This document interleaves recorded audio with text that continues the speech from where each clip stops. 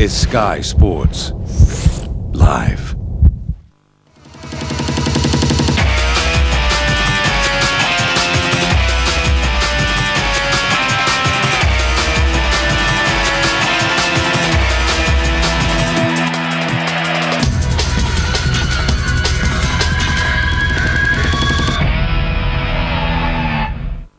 One man has taken the IndyCar season by storm.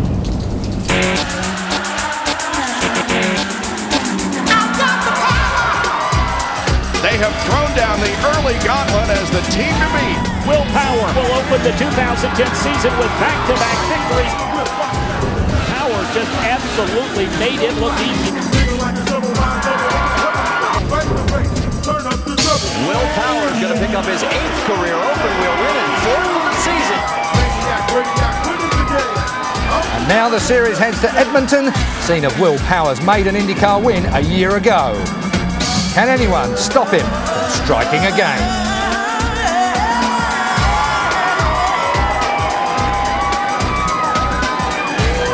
Race 11 of the IndyCar season is the Honda Indy Edmonton, and it's live from the Edmonton City Airport. It's the second leg of IndyCar's Canadian Tour, and the unique airport circuit provides a challenging and very bumpy test for the drivers and their cars. I'm joined in the studio again this week by Johnny Mowlem and Mike Conway, who thankfully didn't come to blows like so many of the drivers did in last week's controversial race in Toronto. Mario Moraes and Takuma Sato both fighting for the same piece of real estate. Sato's day is done. Elio Castroneves has lost control and buries it deep into the tires. Mario Romancini made contact and got spun around. IndyCar officials have levied a penalty against Mario Moraes. The 0-2 of Graham Rahal drove up underneath the six machine of Ryan Briscoe, spun him around and knocked part of the wing assembly off the car. Oh no, we got another crash. Oh, it is Matos and now the 20th incident involving a KV racing machine. EJ Viso and Matos is in the tire barrier. Thomas Scheckter and Alex Tagliani contact. Deja vu all over again. Those two had contact and issues a year ago. There's no way that I would do anything intentionally if that's what you're trying to say. But it was like straightforward, you know, like, hey, it's the payback, you know, f- you, just, you know, like, uh, see you later, you know, you, it's just weird. You can go cry. Come speak to me if you want to speak to me. Otherwise, you know, he's just crying. It's over with, it's done, you know, move on to Edmonton. Thomas Scheckter doesn't strike me as the kind of man you'd probably want to go and talk to in that particular Toronto tantrums, I'm going to call it, gents. But you've got to say that um, it all gets a bit heated out there, Johnny, really, doesn't it? It does, and I mean, emotions run high. I mean, you're out there racing, you're, you're, you're, the adrenaline's pumping, and afterwards somebody says something. Obviously, you're really disappointed, and you don't want to. I mean, you can see there. Obviously, I, I can understand. To be fair, why Tagliani's upset. Well, I- bearing in mind it was a second year running. This was 2009. Yeah, I, I can understand it. I mean, I think that was the Mario Moraes one, but uh, I- at the same time, I wouldn't want Thomas Scheckter uh, giving me a, a wallop as well. So, I mean, at the end of the day, they, they can't let it escalate, otherwise, it is going to get stupid. But uh, I can understand why they're getting heated about it. Well, it wasn't just those two, of course. Rahal and Briscoe had a bit of a go as well, as far as last time out was concerned, and uh, and these two really did get tangled up. Um, I mean, you can understand why he's not very happy about that. I mean, that is outrageous, quite frankly. I mean, that, at least the Thomas Scheckter one was a, a bit of a racing incident. He was going for it, but that one was absolutely outrageous that he's wiped Briscoe out. Mike, um, you're a man of the Twitter generation, of course, 26 years old, so probably you're twittering regularly with your friends and the like. But but it, it did get a little outrageous this week, where these guys were tweeting all over the place, having a go at each other in public. I mean, I can't believe that they're bitching effectively. I mean, they are just like children. Yeah, um, I didn't actually follow much of it, but I heard about it, and um, yeah, I mean, it's I don't know when you, especially after a race, quite emotional. You shouldn't really kind of just post that stuff up, especially when you've got so many followers, fans, and even sponsors looking at all that kind of stuff. So We are getting more and more of this from drivers, though. I mean, I can see teams stamping down it. Mark Webber in Formula One. I'm the second driver, not bad. And we had it today with um, with between crew chief and, and Massa in Formula One. It's everywhere. Yeah, I think there's a big difference between being on the radio immediately after winning a race like Mark Webber did um, and in the heat of the moment. I mean, he, that would have just poured out of him. He would have had to keep a lid on all his emotions to win that race and it just pouring out. There's a big difference happen to that, and then throughout a period of days, like Mike says, emotions are running high immediately after the race. But if you're carrying on tweeting and, and as you say, bitching about it days after, then that becomes a little bit uh, childish. Okay, well, we've had overspill by a year as far as the Tagliani situation with Thomas Scheckter. Um, here we are again. Yeah. Uh, are they going to actually manage themselves properly, or at the end of the day, are IndyCar going to come and stamp on them? Well, I think that IndyCar kind of they want the drivers to sort things out themselves. They don't want to have any squabbling in you know with the, all the guys sorting it out. But you know it's down to the drivers. I think at the end of the day to sort each other out, go and talk to each other, and just clear the air because you don't want to get the thing to escalate and have problems. You know in the next race. Well, of course, those of you that follow NASCAR will be aware of the uh, Edwards and Keselowski uh, scandal that's going on. They keep taking each other out as soon as they can, and uh, NASCAR have. Well, just giving Carl Edwards a, a fair slap to uh, try and bring him to book. So we might see a little bit more of that coming up fairly soon here in IndyCar as well, I would imagine. Now then, one man who avoided the carnage in Toronto was Will Power, whose imperious victory extended his lead over Dario Franchitti to 42 points. And team boss Roger Penske had plenty of praise for his Aussie driver after the race.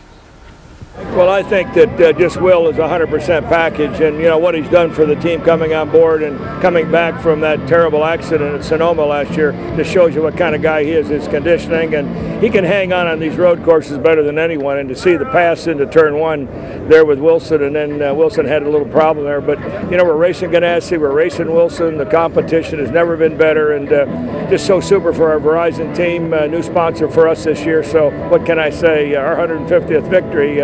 What a day. Not often you hear the captain speak, and uh, very praiseworthy. I mean, the, the guy, I mean, he hurt himself last year, had no sponsor. Now Verizon came on board for this year. I mean, Johnny, it's won four races this year so far. The kid's getting it all right. We said we've said this before on this program, and uh, he's having one of those years. It seems to happen in in Indy cars where a driver has one of those years. Dario's had those years. Dan Wheldon had those years. And he, this is, seems to be his year. I mean, it may all change, but at the moment, you wouldn't bet against him really cleaning up. Well, he's won five of the last seven road courses, of course, uh, so he's pretty good. Toronto last time out, but Edmonton holds no fears for him either, Mike.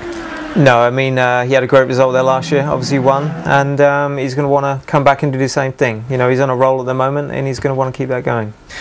I mean, Edmonton is a, is a, a, bumpy track. You've raced there. I mean, it's a difficult track to keep under you, isn't it? It is very tough. You know, you got lots of different different situations out there. You know, very bumpy through the high speed, and then you got slow corners which are very bumpy. Different surface changes, and you know, end of the day, it's an airport, so it doesn't get used a lot, and uh, there's not much grip. But as the weekend goes on, you know, grips up and up. Every session gets quicker give us a kind of percentage on that because obviously grip they look like they're slithering around over the bumps uh, finding it very difficult to keep the power on this particular track. I mean, mm-hmm. how much does it rubber up? How much grip do you get by the end of the, the race? Um, you know, I mean, in the amount of time, in it, it, it, you're not too sure because, you know, especially with the different tyre compounds as well, you know, it is going to pick up, but um, I don't know, between maybe half a second, it could pick up during which the race, a, which, which is quite a, a lot. bit, yeah, indeed. What about uh, push to pass? I mean, we've got some long straights here. Well, also it's very, very wide. So we were just talking about it earlier on with Mike about how you can actually carry a lot of speed into the corners, but take slightly different lines, which means you're going to be able to perhaps take a line on, on entry. It's going to give you a, a, really good exit line into the next corner. So you can actually take two or three different lines through some of those corners, and with push to pass as well, it should be relatively easy by comparison to some other tracks to actually overtake. So it should should make for a really great race. I think there was only one yellow last year, so um, could be in for a pretty fast plenty race. Plenty of room when you go off, not to, to hit anything and uh, and actually get going again, even if you unless you actually stall the car. Well, Toronto was Team Penske's 150th open wheel Formula race win and extends Will Power's lead over Dario Franchitti. Scott Dixon was 30 last Thursday and needs a birthday gift to make up for the 78 points he's adrift of the young Aussie. But aiming to spoil Scott's party is Ryan Briscoe, seven points further back. Ryan Hunter-Reay, six more in arrears, and Elio Castroneves just another point off the pace. Tony Kanaan is seventh, Justin Wilson eighth, Dan Wheldon ninth, and Marco Andretti in tenth place. Danica Patrick has had a disappointing year so far, while series rookies Alex Lloyd, Simona Di Silvestro and Mario Romancini stay in the top 20. Surprisingly, their fellow rookie and ex-Formula One star Takuma Sato is only 22nd. Rookies. IndyCar is getting tougher, Mike, isn't it? It's uh, it's got a, a, much deeper, classier field than perhaps in its earlier days, uh, especially since Champ Car arrived. So difficult one for rookies to, to manage. Alex Lloyd is uh, doing a fair fair job out there at the moment, would you say? Yeah, he's doing great. I mean, you know, he's had a, a couple of years where he's been on the sidelines, so you know, for him to come back in and um, show some good speed, um, is yeah, he's doing a great job. So, you know, hopefully he can keep that up and just keep improving each time doing it for Britain, of course. But Simona Di Silvestro, I know, is one of your favourites, Johnny. And the, the young lady really has come of age. Ninth, ninth last time out, qualified seventh this week. More about that in a little while. But uh, this young lady's doing pretty well. She's doing very well indeed. And uh, she's shown flashes of brilliance. Early on in the season, I thought she did very well. Then she had in the last few races a bit of bad luck, a few incidents and accidents and spins. And uh, at Watkins didn't have a particularly great race. But I think she's uh, going to get through. When she gets a bit more experience, I think she's going to be the real full package, the real deal. And you can see that she's fought back after that um, frightening fire situation. That, uh, that, that's pretty, you know, would make me a little windy. I've got to say, and it's a it's a situation yeah. that she's fought through that as well. So she's had a little bit of adversity. Yeah, I don't think you need to judge her, you know, just because she's a woman in that situation. I think basically any racing driver out there is quite gutsy, and I think she just dealt with that and got on with it as any driver would. Well, I don't think any driver does because if you remember Sarah Fisher going back a few years when she ended up with a face full of debris, yeah. we never saw the same Sarah Fisher after that. That was my point. Yeah. Some people do just have the edge knocked off them after something that's uh, yeah. fundamentally frightening. No disrespect to Sarah, but I would say that Simona's probably a slightly different league to, to, to, to Sarah Fisher in terms of her background, even and, and what she's raced through. Well, Simona has certainly uh, gone good at Edmonton. She's won here in Atlantics in the past, so um, she could be on for a good drive today. Now, one man who I'm surprised who, who is struggling, uh, seemingly at the moment, is Taku uh, Sato, and you've got to say the Japanese, likeable Japanese driver, you would have expected him to perhaps done a, a little bit more, Mike, this year. Yeah. You know, Taku's obviously very fast. He showed great speed this year, but just, you know, a few incidents where he was running up front and things didn't quite go his way. But um, he will get there. You know, he's um, one of them drivers that doesn't give up, you know, really sticks it out all the time, and um, it will come. Mario Romancini, what do you know about him? He's uh, obviously a, a, rookie this year that's uh, come in, and so is uh, Bertrand Baguette as well. Uh, you guys know much about him? Yeah, I mean, um, both of them are kind of, they've come in, they haven't done a lot. I don't think since they've been in, but you know, just steadily. I think just picking up pace each time and and staying out of trouble. They seem to finish most of the races, so um, that's one thing is to get experience and get as many laps you can under your belt. Indeed, well, there's a few more to come in just a little while, of course. The build up to round 11 of the IndyCar Series continues. After the break, though, we've highlights of yesterday's qualifying and we'll hear from the pole sitter, Will Power.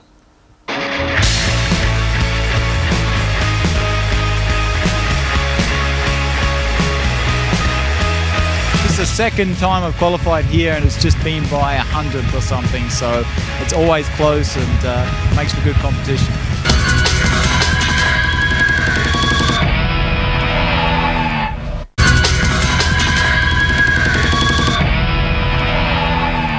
You're back for live coverage of IndyCar's second Canadian race of the year. The racing's live from Edmonton Airport for round 11 of the season. But first we look back at qualifying and the scramble for pole position.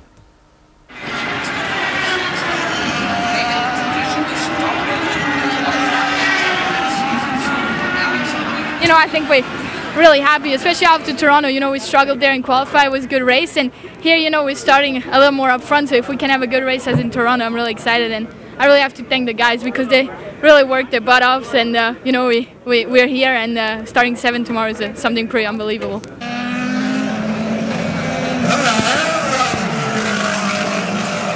Still missing a little bit, but ultimately not, not a bad fast six for us. Um, just got to make sure we've got a race car for tomorrow.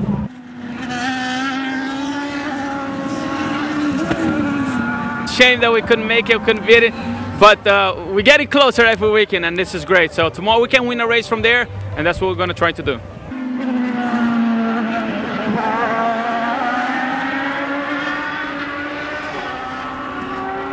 It's just awesome to have two two Penske cars on the front row, the Verizon car on pole again. Um, that's that's really cool, and uh, man, let's look forward to tomorrow and see if we can do a good job. It's Will Power's sixth pole of the year with Helio Castroneves making it a Penske front row lockout. The Ganassi teammate Scott Dixon and Dario Franchitti will keep them honest from row two. Ryan Briscoe and EJ Viso are on row three. Simona Di Silvestro has done a great job to qualify as best rookie and starts beside Ryan Hunter-Reay. Justin Wilson will be determined to put his disaster of last weekend behind him. He's on row 5 with Rafa Matos. Hideki Mutoh and Thomas Scheckter are on row 6. Takuma Sato and Mario Moraes, row 7. Paul Tracy and Marco Andretti are on row 8. Mario Romancini and Britain's Alex Lloyd are on row 9.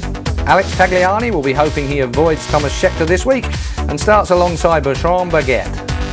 The inseparable pairing of Danica and Dan will be equally disappointed with an 11th row starting position. Vitor Meira is joined on row 12 by Tony Kanaan, who didn't get a time after crashing out of qualifying. And even with a new probation order against her minimal performance standards, Milka Duno finds herself bringing up the rear. And so, as you can see, they are making themselves ready down on the grid. It gives us an opportunity, I suppose, to just quickly talk through that Milka Duno. Uh, IndyCar have eventually come to Milka and said that she's got to come up to a minimum minimum performance. Easy standard. for you to say. Yeah, harder for her to achieve, it would appear. I think it will. I think it's only right that they've done it. I'm surprised it's taken this long. I think a lot of the comp- uh, drivers have been complaining about it. So. Uh, As the cars make themselves ready then down on the grid, we can see everybody ready for the command. Olympic gold medalist Kevin Martin is the Grand Marshal, so let's cross to the track as on command 25 Honda engined Indy cars burst into life.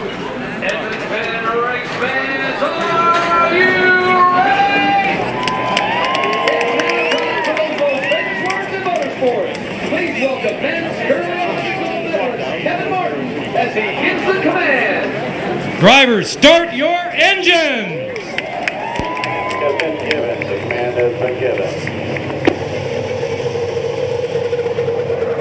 Kevin Miller, a member of the Canadian Olympic gold medal curling team. There's the target Chip Ganassi driver starting side by side in row number two today. There are 25 cars on the grid preparing for 95 laps. 186.2 miles. Once again, for the sixth time this year, Will Power won the Peak Pole Award. He covered the course in just more than one minute, 116.991 miles an hour. The Peak Pole Award worth $10,000. Justin Wilson's pole last week at Toronto prevented Team Penske from setting an open wheel record for consecutive poles. Uh, Team Penske now tied with Dan Gurney's All American racers with eight straight poles.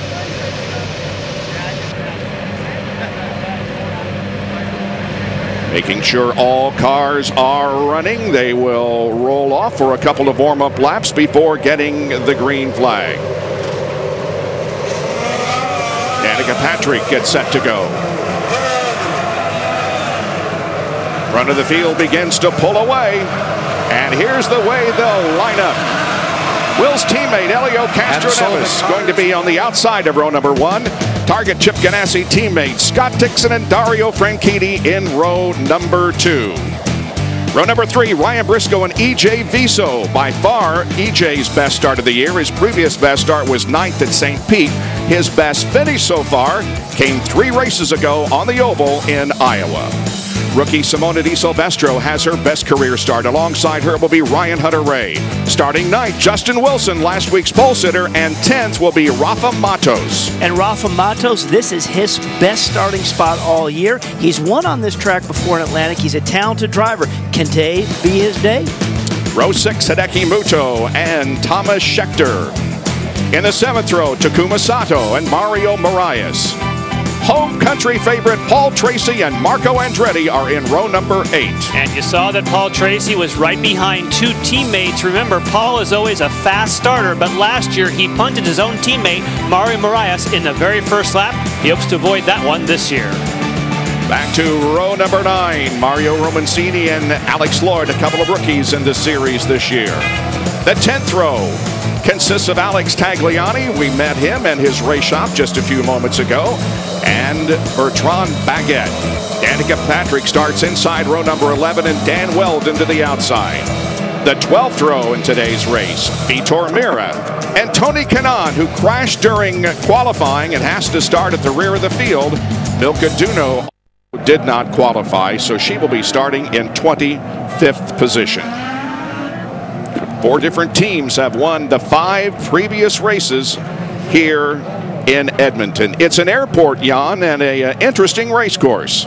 It's a fantastic layout, and when you look at it from a satellite, you can certainly see it's a nice combination of runway and taxiway. And one of the interesting things is how the beginning portion of the lap is fairly smooth with a nice passing zone, a nice wide passing zone in red highlighted in turn number one. But two, three, four, five, all the way up until you get to the exit of turn eight, it's fairly smooth. Then high speed bumpy circuits with a great passing zone into turn 10, then bumpy high speed again with a passing zone into 11, and then fly through the fastest chicane, making the fastest temporary circuit that they race on. Okay, let's take a view from the cockpit of the car. Here we are with Ryan Hunter. Look at all that pavement there. We talked about the airports and the runways. It's so wide here. And what's difficult for the drivers is to pick up reference points out on the circuit when it's this wide. They don't know necessarily where they want to be. Also, what it does is it makes it very optimistic for the drivers with those walls being so far back and all that pavement is maybe I'm going to challenge that corner a little bit more. It is a bumpy circuit, not just the runways, but also hitting those curves. Look at Paul Tracy just hammer that curve in turn two. Watch it in slow motion. Will Power. He's going to hit that curve, which you want to do that. That's the shortest way through the corner. But then the thing is to get that car to settle and stop bouncing so it hooks up. Look at it in freeze frame. There we go. Paul Tracy, all wheels off the ground. So a busy, tough, physical racetrack. Jack, Guys, unlike most of the racetracks that are road courses or temporary street courses, you don't see a lot of yellows here at Edmonton. In fact, if you take a look at the past couple of races, they've only had a total of 11 laps and two and a half yellow periods. Now, here are the keys to remember. You got to get 2.9 miles to the gallon. 30 laps is your pit window. So because of you're so close, here's what's going to happen. You're going to be in a situation where somewhere along the line, you're going to have to short pit, and that's going to be the strategy. You want to be the first. Guys? All right, all but four drivers going to start this race on the alternate reds, and the green Apex Brazil green flag is out, and we are racing in Edmonton. So is everybody all clean as they sort themselves through all that pavement? It's looking pretty good. Got a lot of racetrack to work with. TK on the high side there, starting in the way back in the green and white 7-Eleven car. You can bet he's going to make his way to the front of the field as quickly as he can. Looks behind Danica Patrick for an opportunity there. El and Caduno. Milka Duno has spun already. And as Lindy Thackston told you on our pre-race show, she is on probation from the IZOD IndyCar Series officials. And if she's still got a fire in that engine, she should be able to loop that thing around and get going and not have any yellows here. So let's hope that's the case. Will Power and Elio Castroneves running first and second. Dixon and Franchitti are third and fourth as the Holmatro safety team goes to the car of Milka Duno.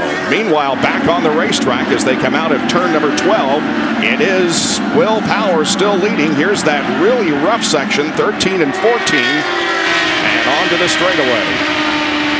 Looking off of uh, Justin's Wilson's car, right back there.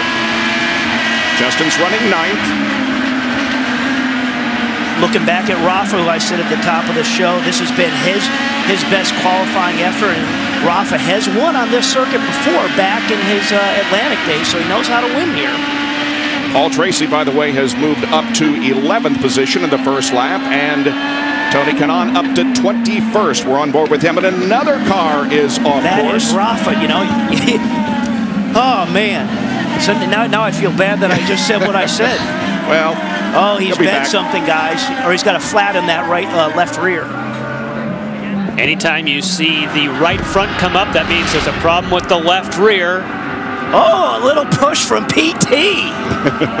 and that is what PT has called the chrome horn. Well, you know, you had just said how much Tracy had moved up. There's Yeah. the hit, a little Yeah. tap to the Yeah. left rear. Sure enough, that's why it's flat. But you had just said how many spots Paul had moved up early, Yep. and he had moved up of spots. He's he's almost guaranteed to challenge guys to move himself forward on cold tires.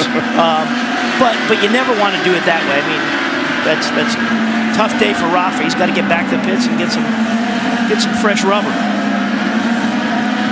Will has opened up about a seven tenths of a second lead already on his teammate Elio Castroneves. And more on both Power and Elio from our IZOD Performance Pit Center. Jack. Elio Castroneves makes no bones about it. He kids about changing his name, Will Power, to William Power.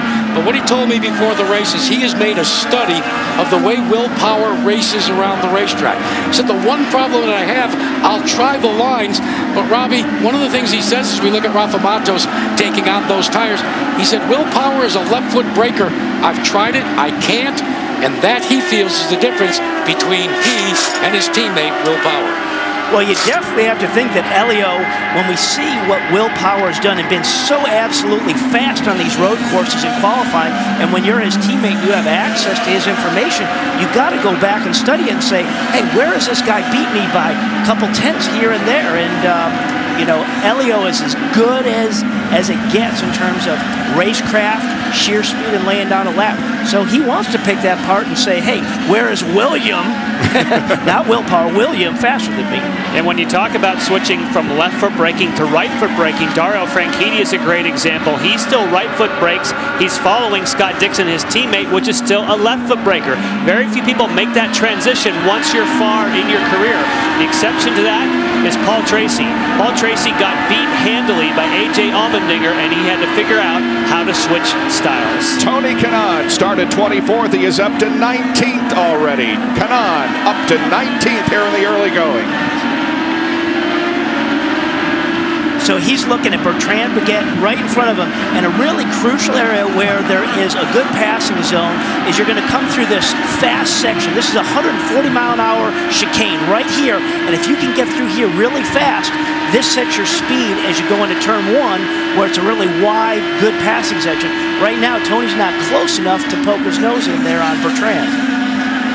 Baguette is just ahead of him, and Alex Lloyd is up there. So is Mario Romancini, and Lindy has more on Tony Kanaan. Yeah, guys, this is a big number race for him. This is his 125th consecutive start. He actually leads all the active series drivers. He's only 13 short of the record held by Scott Sharp, and he's the only driver in the series right now. He's completed every lap this season. That's 1,359. He's actually the only driver in major motorsports history to complete every lap in an entire season. Get this, back in 2003, Bob, he completed 3,305. Yeah, he is the only driver who has completed every lap this year, too, Lindy. On board with Ryan Hunter-Reay running in eighth position through this turn 13 and 14 segment onto the front stretch. Will Powers now led in 10 of 11 races this season. The only race he has not led was the first oval race of the season in Kansas. Certainly get an impression of just how bumpy this place is, uh, Mike Conway. Uh, with me, of course, is Mike Conway and Johnny Mowlem here in the Sky Sports studio. Mike, I mean, it is bumpy round there. How much of this is feeling your way into this race? Not that willpower is much. Yeah, as you can see through that section there, it's just it's very bumpy, very high speed bumps, and it's very open too. You know, very hard to um, to get all your braking points, turning points, exits. Um, so yeah, it's quite tricky. But once you get into the groove around this place, it's a really fun fun track. It is an airfield, obviously. We saw earlier on with Will Power when he was talking to us about his um, pole lap that uh, it was very windy, Johnny. I mean, does that make much difference on, a, on an airfield track as well? Does it take the, the, the air off the wings? It, or? it, all depends on, on where the wind's blowing them, but I mean that looked extremely windy, didn't it? And uh, if that's coming across your car in some of these fast corners, that will have, even on these cars, which aren't as light as Formula One cars, but they're still relying a lot on aerodynamics, and that will have a real impact on them. And uh, maybe Mike's actually experienced the wind here last year when you were racing here, Mike.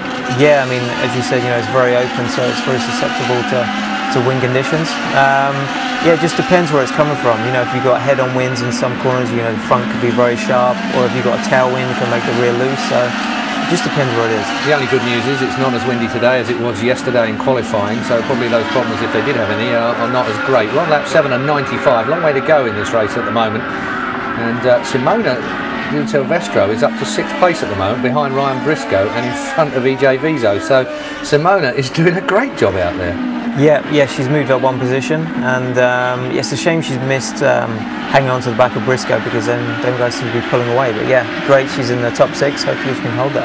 Thomas Scheckter down in 12th in your car, Mike. Um, well, we heard from him a little bit earlier on. Uh, hopefully, he's concentrating on his racing right now and not uh, tweeting from the cab. no, I'm sure he's uh, he's fully uh, aware, you know, concentrating on his race, and um, yeah, he's good. He's held his position, and uh, just needs to move up a little more. Okay, as we see the first of them in pit road, let's go back to the track. Will Power continues to lead here at Edmonton. Basically a five-car breakaway here. It's Power, Castroneves, Dixon, Franchitti, and Briscoe. Then about five seconds back is Simona Di Silvestro running in sixth, and EJ Viso is in seventh position. Ryan Briscoe finds himself in fifth right now. And uh, Ryan, what do you think about your fellow Aussie, Will Power? It's a lot of fun having a fellow Aussie on the team, and he's from more of the countryside. You know, his accent's a little more rural, um, and and we uh, we have a bit of fun with that. But he's he's a hell of a driver and and a huge talent. Uh, we got a taste of that last year, and he won the round in Edmonton. And you know, I think with myself, Will, and Elio, uh, we're really going to feed off each other a lot this year and help each other um, and push each other a lot as, as we move forward. So I guess you speak a little different Australian if you live in Toowoomba as opposed to Sydney. yes, indeed. And, and the key word there, he said, he said, hey, we're all going to push each other. And Elio made it very clear after this weekend that he's thankful to have Will be on that team because he's pushing the both of those guys and he's making them a better driver. Uh, I guess you better say that. I mean, that's that's what you got to. And Robbie, you talk about how much work this racetrack is. Look at the bottom line there. Only seven seconds of a lap do you ever get under one G of cornering here with a max of 3.8. You're working hard here all the time. And, and one of the keys to this race is going to be manage yourself as a driver. You're the physical side of this race. You want to set yourself up that you got plenty to give the last 20 laps, along with your car, your gearbox, your tires. Lindy. Well, Roger Penske is usually in Ryan Briscoe's ear. He's not here this weekend. He's in Indy for the Brickyard. So Eric Cowden, who's the engineer for Briscoe, he has stepped in for Roger. I'm told the team is all ready to constantly update him as this is going on. And guys, I have a feeling this is kind of like the Chip Ganassi thing. He's not here either. Barry Wanzer stepped in on Dario's pit box.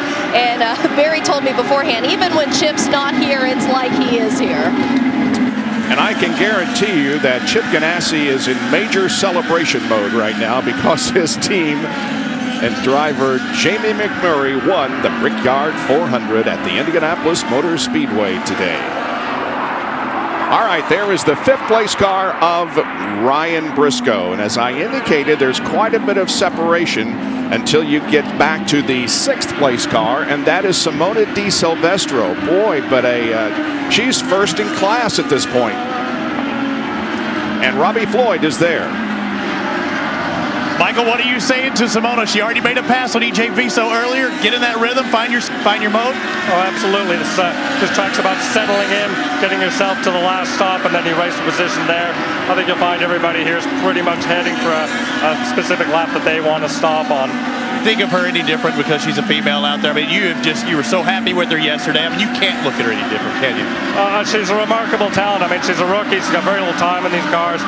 This is probably the most difficult racetrack that we run at as far as road circuits. And to come here and, and qualify first in your group yesterday and then wind up uh, seventh overall, truly remarkable. Monty Sylvester trying to find that rhythm, also being concerned about fuel. She's coming off her best finish of the season. She was ninth last weekend at Toronto, and Thomas Scheckter apparently has torn off the front nose of the car and gets a replacement. Very quick wing change for Thomas Scheckter, but that's just when you heard Michael Cannon talk about settling in, you don't want to be settling in and knocking off the front nose. Well, not when you're only 10 laps into this thing because you're not close to any window. So he's still going to have to come in for two more stops, and he's under green in under green right now. That's While we look at the guys up front, we'll tell you that Tony Kanaan has moved up six position, is 18th. Marco Andretti has moved up five. Tracy up five. Baguette up three, and Alex Lloyd is up two at this moment on board with Tony Kanaan, who is running in 18th position, just back of Bertrand Baguette.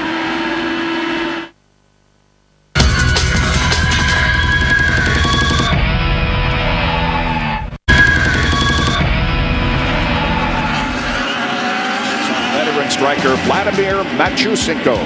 Plus, it's the showdown of explosive middleweights Mark Munoz and Yushin Okami.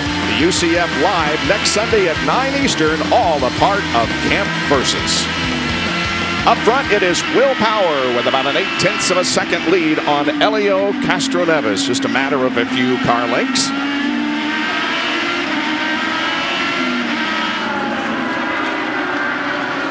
There is Tony Kanaan running in 18th position. And, you know, even though we say at this airport circuit you have all this wide track and it's bumpy and it's opportunity for passing, it still is difficult to pass. Just because it's wide and all that pavement's there doesn't mean you can make an easy clean pass. You really have to set it up and have a good run off these corners. And if your car is sliding around and you can't get the power down to get that run, you're not going to get the pass done. Back up front, it is Power slightly ahead of Elio Castroneves. Jack, what about the uh, pit window here? Bob, as I said at the start of the show, I think you got to look at around lap 30. But unlike most races that we have, you know, most of the pits are concrete, at least where the teams service their car. Take a look at this. It's all blacktop. They're 40-foot stalls, but do you see the wet? Do you see the weepers? Now, this is Elio Castroneves' pit stall. Since the start of the race, they've had blowers out there trying to get these weepers. They just gave up trying to dry it off. This is going to create a potential problem, especially when you're finished with your service. And if you light up your tires and you hit that, you can get sideways, Robbie, real quick.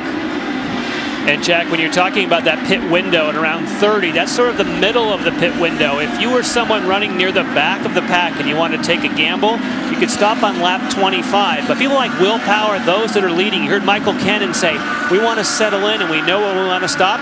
That lap will be more like lap 34.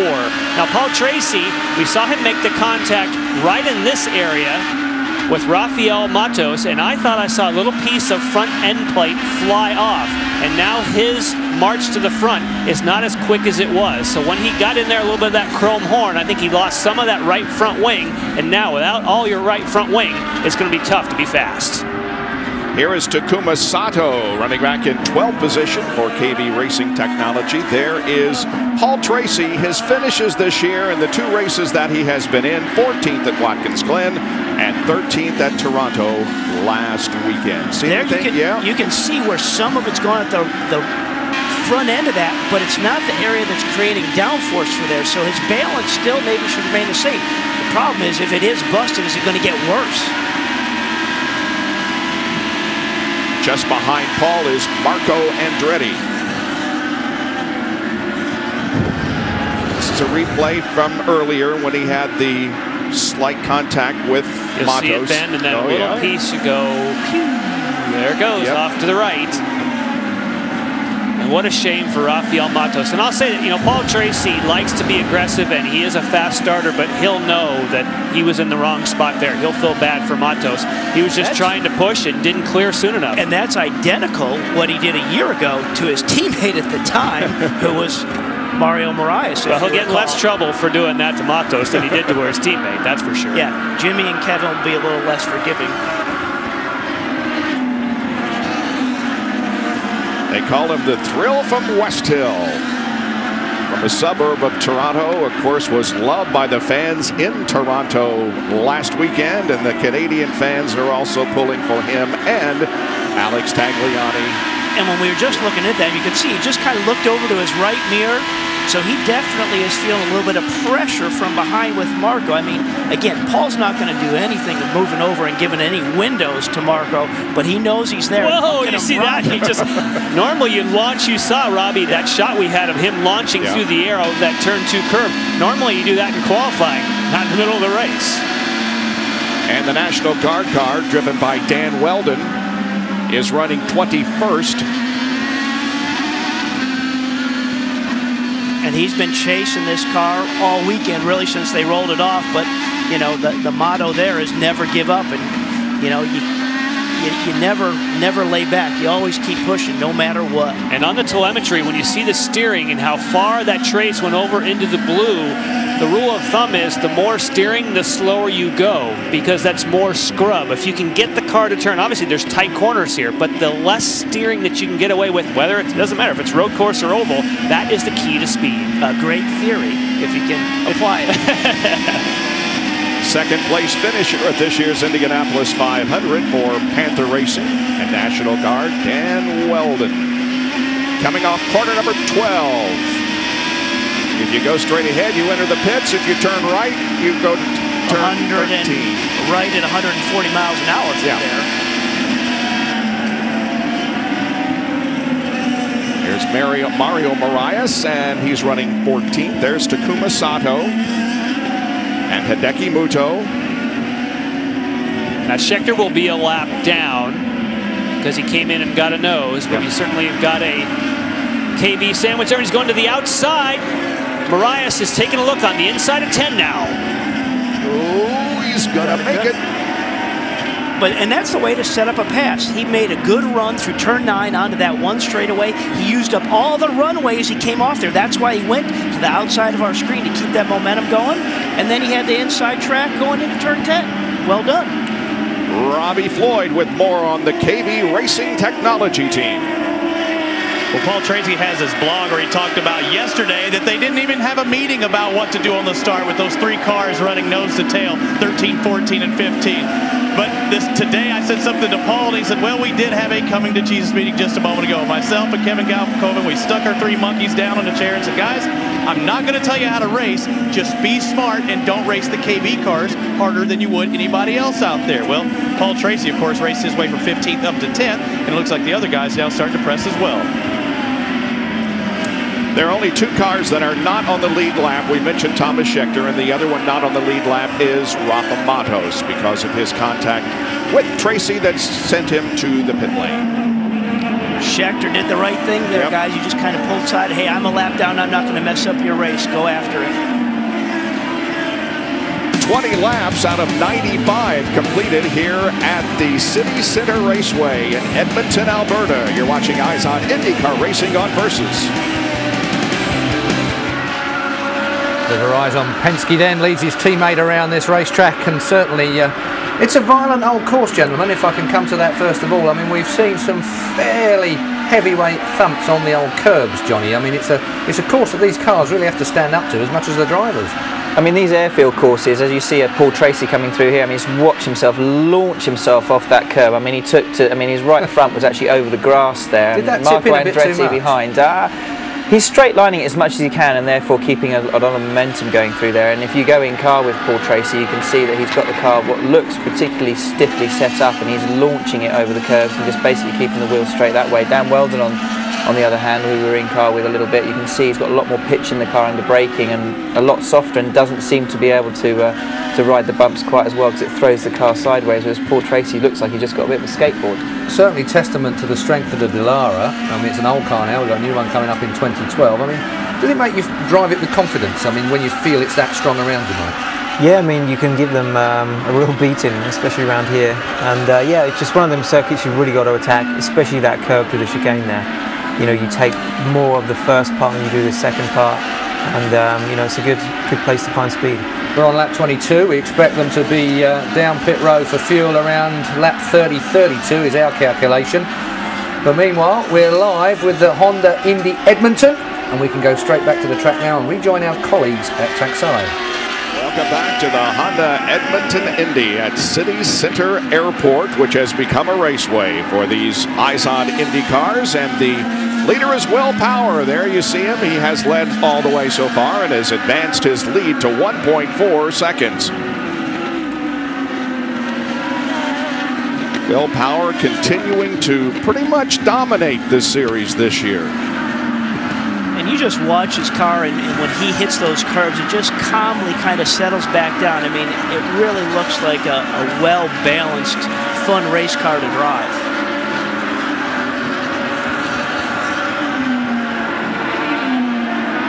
The front group are also all on the red sidewalled alternates, and they don't have the same kind of longevity do the black. So when you heard the crew members, and it's great to get a look at the whole racetrack from one vantage point and follow someone around. But the leaders certainly are in a position right now where they just want to maintain that grip. The first run you make on the red sidewalled alternates are the ones where you have to be easy on them because you can wear them out on a more green racetrack. Runway number 12 is the front stretch. Here they go into turn number one and two in this very quick switchback area. And this is the area where Jan said is smoother pavement just kind of through this switchback because this isn't part of the runways. But soon as you transition back, you get onto these runways. Going to stay up high here to take you through turns eight and nine. Very fast, bumpy section right through here, turn 11. Look at all that track you have to use because you got that big old runway. Just that great perspective when you just watch one camera and follow one driver all the way around. It gives you the idea of the wide open spaces and areas where you still thread the needle and run it right up against the wall. Great for the for the fans that Yeah. are there in the grandstands. Yep. You know, they get they get a little bit of the same perspective where they see what's going on, where the plus minus gains is of everybody around this racetrack. This place kind of reminds you of Burke Lakefront Airport, where the uh, kart series used to run in Cleveland, Ohio. Same kind of a set, uh, setup. And yes, the fans can almost see all the way around the track. Jack? And guys, as wide as this racetrack, as we take a look at uh, Tony Kanaan as he tries to work his way, gets around Simona Di Silvestro. Keep in mind, because as wide as it is, you can escape. You can get away. You can get out of the way, so we don't have a lot of full course yellows. So what does that result in? Not a lot of strategy. When do you short fill? Do you short fill? Jan, you're absolutely right. Everybody tells me lap 34 and they hope that's good. Look at this tight quarters racing, guys. This will take your breath away. Baguette. Now getting a move from the inside. All it takes is one little miscue as he was dicing ahead with Alex Lloyd. That just broke a little bit of momentum, and then here comes Tony Kanaan. and that, but what Tony needs to do now to continually get up through the field is he needs to stay close enough to the competition in front of him to capitalize on what happens. If he's not close enough when there's a little miscue or a little hiccup in front of him, then he's not going to be able to capitalize and gain spots. So he's got to keep pressing. Tony Kanaan is at the top of the list in terms of big movers. He has gained 17, uh, seven spots since the drop of the green flag. Tracy five and Marco Andretti fifth, five positions. Alex Tagliani, he's currently running in 19th. We'll take a break and be back for scheduled pit stops coming up in just a moment.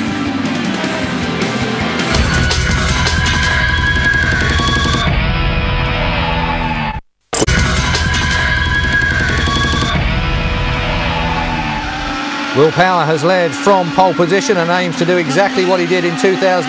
He led then for 90 of the 95 laps here at Edmonton. We rejoin the action as the pit crews prepare for the cars to come down pit road for fuel. Dan Wheldon is the man that's about to be lapped by the leaders. That's a shame for him. Let's go back to the track.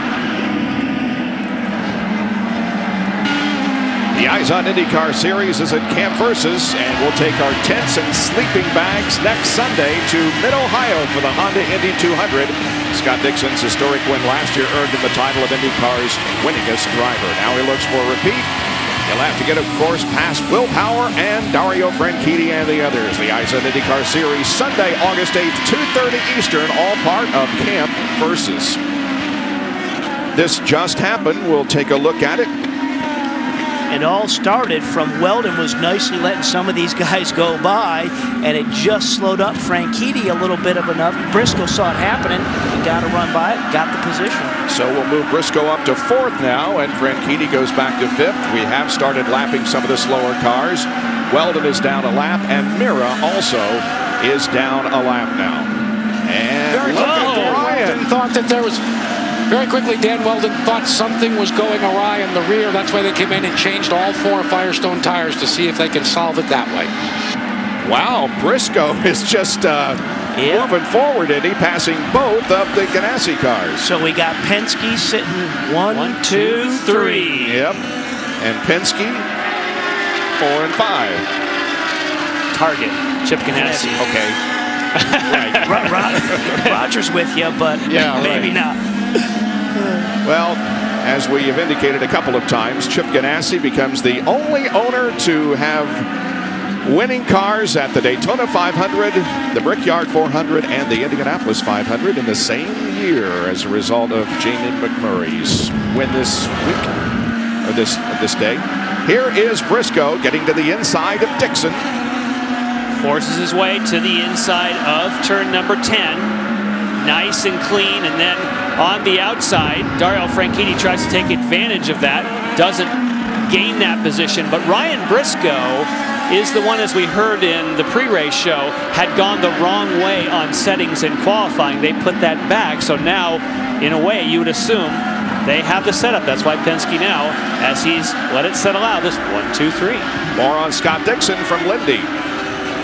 Well, Scott basically took a dirt shower in his car this morning. Now, he didn't go off course and cause a yellow. He just went a little bit outside of the lines. Let me tell you, he got hit with so much debris, they had to replace his front wing. It looked like it'd been in a hailstorm. They had to tape up his mirrors. They had to tape up the rear wing. And his helmet had so many marks on it from all of that. And uh, they've recovered from it, but he had a rough morning, guys. Wow, I've never heard the term dirt shower. That's, That's pretty, good. That's I good. like I like that, Lindy. And I think part of, you know, just through the practice sessions and qualifying, we saw a lot of guys, you know, spin or go off this track. And again, I think part of the mindset of a driver is when you have all this openness, and I think I used the word optimistic, you know, you just feel a little, little bit more that you want to challenge it. And that's why you see more of it. Simona, how about the job she's Yeah. done all week, all year, really, as a single car effort? Remember, she doesn't have a teammate. Yep. All right, here we go. Here's Dan Wheldon in. And this is not a routine pit stop. Well, we know, you know, that he had just let all those cars go by and thought there was something maybe going on with his car. Down to Jack. Guys, I want to show you during pit stops where you really want to focus during the pit stop. In these cases, you want to watch the fueler and the vent man. Why? Because you've got to get that fuel nozzle in exactly right.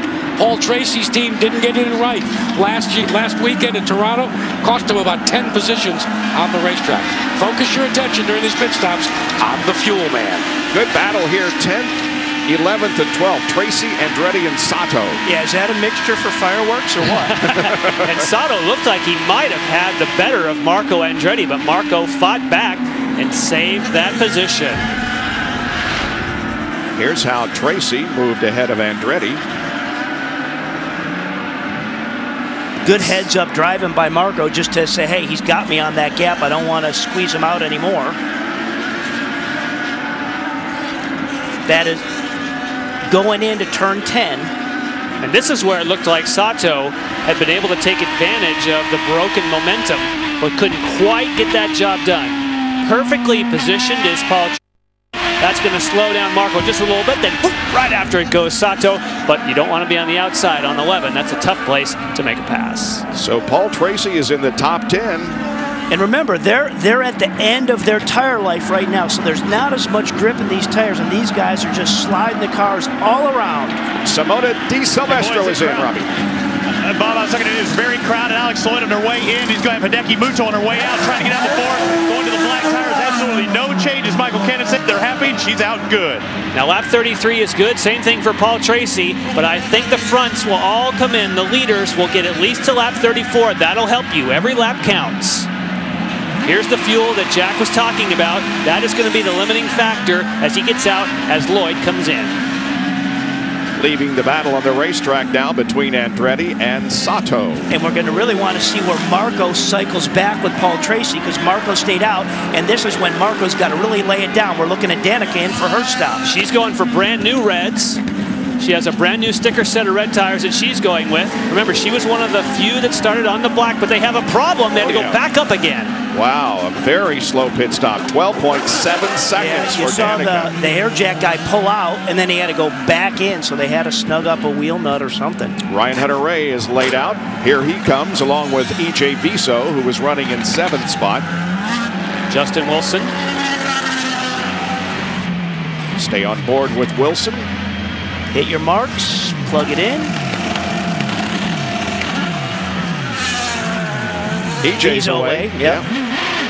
And now Justin will go back out on the racetrack. Hunter-Reay, there's Wilson. You got Viso. Viso, and then there's there's Wilson behind him. So as we saw everybody shuffling out, we saw Viso go out in the, the set screen while Wilson was still in the box. So here come the leaders. And here is Will Power, his first stop of the day, hitting his marks perfectly. You can see they took off the red tires and put on the black. That crew led by Billy Vincent, they needed a flawless pit stop. It looks like they got it. By the way, guys, they told him in that first stint his fuel numbers were perfect. Kind of uh, is an indication of how his season is going, isn't it? Did you hear him have that thing lit up as he was just waiting there, just Yeah. against that rev limiter? As soon as they dropped him, off he went. Now Ryan Bis- Briscoe has pitted Elio also.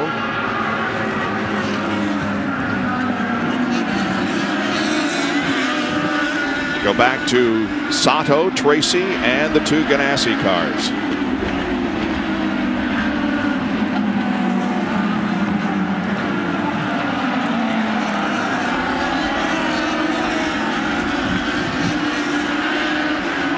So here comes the the duo. Here comes the Target Ganassi duo. That helps you as Tony Kanaan gets service as well. So they have done an extra lap.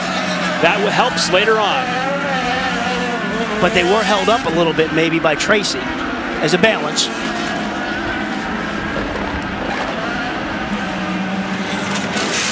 The Ganassi boys in at the same time. Dario Franchitti, they're taking off the reds, putting on the black, same as Will Power and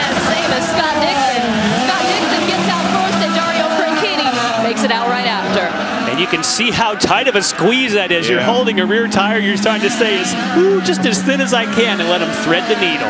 It visually, it looked like Dixon had a great, great stop. Looked like Dixon may not have taken a full load of fuel. That That's what Jack was saying before. But I think you'd want to save that till your second stop. What helps you when you pit later, really, it pays dividends the next time you pit because you need less fuel. Less, so that means less time In the plugged in. What I love here is the threading of the needle between the two. Now let's see if there's any sort of motion or time. No, they wait. Oh, they waited waited. for the fuel.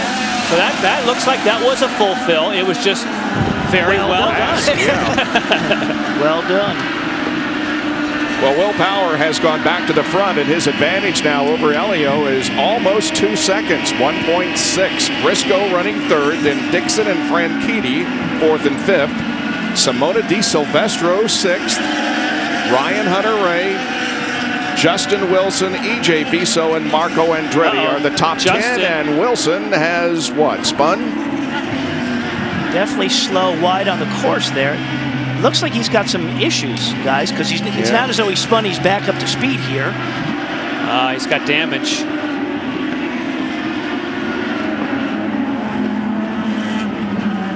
Once again, a big disappointment. Last week, of course, he led the most laps and had dirty tires Oh, and and, got looks like passed on the restart. There's damage on the front of Marco Andretti's front wing also. And Justin's car just looks like one Tilted, corner's doesn't it? down. Yeah, it just Yeah. looks. It looks like in the right, Right- rear right because yeah. the left front is up. But it did. The tire didn't look flat. It looked No. like it was suspension, you know, because we didn't see the tire being flat. And we just got that picture of Marco Andretti's front wing askew as well. And do you see where Marco is relative to Paul Tracy? There's two cars behind Marco, so Paul Tracy is back in 12th. Marco's in ninth, so it just shows you who won that pit stop battle between those two guys. That goes to Marco. Power continues to dominate things here at Edmonton as Justin Wilson has come in for a pit stop and something serious. It could be terminal.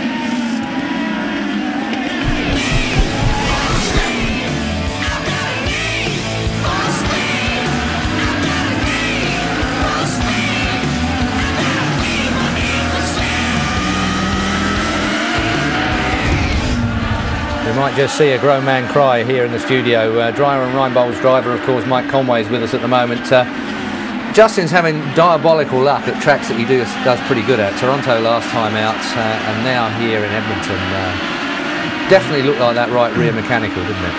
Yeah, I mean, we didn't get to see how the damage happened, whether it happened on his own or with, with some contact. But yeah, there's definitely some issues with the right rear corner of that car. And um, yeah, now he's pulled in the pit lane and, and they're trying to figure out what, what to do with it. Johnny, pit stop's all important, of course. The leaders left it right to the last second to uh, get down pit road to make the most of uh, their lead out front. That's man in particular, the Verizon Penske, of course, of Real Power. Yes. But it does seem like, um, despite the fact they get in and out and the, the, the crew do a great job, spend a lot of time sat there with the rear wheel spinning. You have a theory on this? I have no theory whatsoever, except I think they're a bit too pumped up, perhaps, and definitely cost themselves a little bit of time occasionally with too much wheel spin. And uh, but it's, having said that, it's better to have a little bit of wheel spin and lose a second than stall it. Ryan Hunter-Reay here putting uh, Simona Di Silvestro under pressure for that sixth place at the moment. She's drove, gr- driven great, and he's a great road circuit uh, operator as well. So uh, he's no slouch behind Simona. She's had a pretty lonely race at- up until now. She hasn't had the pace of the sort of Ganassi and Penske boys, but she's been six or seven seconds ahead of the seventh place car. But now Ryan Hunter-Reay's caught her up. It'll be interesting to see if she can still keep her, her head down and keep going and moving forward. Mike, moving back to the pit lane uh, saga that I was trying to uh, tease Johnny on. I mean, uh, wheel spin out out of pit road. I mean, some people do it. Scott Dixon doesn't seem to. He seems to launch a little bit neater. Is it a difficult car to get off the mark without just dumping the clutch and giving it a load of revs? Not really. I mean, you have quite a good Oh, feel with the clutch pedal. yeah, off there. No, I mean, you have quite a good feel with the clutch pedal. It's just a case of controlling that spin once you initially drop the clutch. That's just the main thing. No tyre warmers though, is there? There's not, so it makes it very tricky for the exit, as you can see here. Let's go back then to the track for the very latest. Patrick off course here at Edmonton. Long period of time in the grass before she got back on the racetrack. Probably didn't damage her race car, but she took in enough grass into the radiator probably that she still needs to get down pit road. Let's see what happened. Oh, goes to the inside of Baguette, and whoa! I don't think I have room after all. And then you're out trying to find the straightest path that you can back to the racetrack. It just happens to be a really long way. Distance. Like I say, they'll definitely be watching the, the telemetry back in the pits right now just to monitor the, the oil temperature, water temperature, just with picking up all that grass. Well, Jack kept talking about how you don't have many caution periods when you have a track this big and wide. You can see why. How far off was the race? Off the racetrack was she, but you still have all that grass to drive across, and no harm, no foul. Will Power with a two and a half second advantage on Elio Castro Castroneves. Now, again, as Libby pointed out in the pre-race show, if Will Power emerges today with a 106 point advantage on second place, he will clinch the Mario Andretti Trophy for Road Course Championship with two races to go. Mid Ohio next week, and then or a couple of weeks, and then we will, of course, end the road course season at Infineon Raceway in Sonoma, California.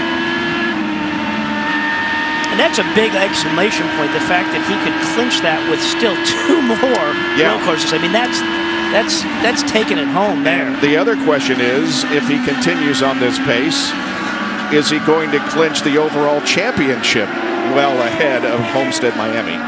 Robbie, what's the problem with Justin? Unfortunate circumstances for Justin Wilson. Evidently, what happened earlier happened again as he's pulling back into the pits. Just a minute ago, the right rear broke. He said something's wrong, didn't know what. The team didn't know what. They pulled off the cowling, and take a look at this. This is the top part, or the bottom part, whichever, of the shock. There's where it's supposed to attach onto the dampening rod. The rod goes in the middle. It just broke the rod. So he comes back in again now, and they're saying it happened again. This time they're looking at the left rear. That just shows you how demanding, how tough, how rough this Edmonton course is. And we just saw that universal sign from Justin that something wasn't right in the rear end. When something isn't right in the rear end and you go for the brakes, you get spun around there. Yeah, that's the car just Under straight line braking, right there. totally gets out. It's like you lose one of the corners, almost like a wheel coming off. On board with him. Let's see, he's going into turn 10, braking oh yeah, right drag, now. drag. Yeah, you could hear just something dragging as as he went to the brake pedal. Quite a ride, huh? Yeah, did a nice job of But again, keeping it running. you know, as we get through this race, you know, we talk about how physical it is on the drivers. Well, that same thing is happening to these race cars. So there could be some more attrition just with regards of the pounding they do on the curves, but just, just the sheer bumpiness of the racetrack and transitioning from runways. On board with Ryan Hunter-Reay, who has gotten around Simona Di Silvestro. Ryan Hunter-Reay now is in sixth spot.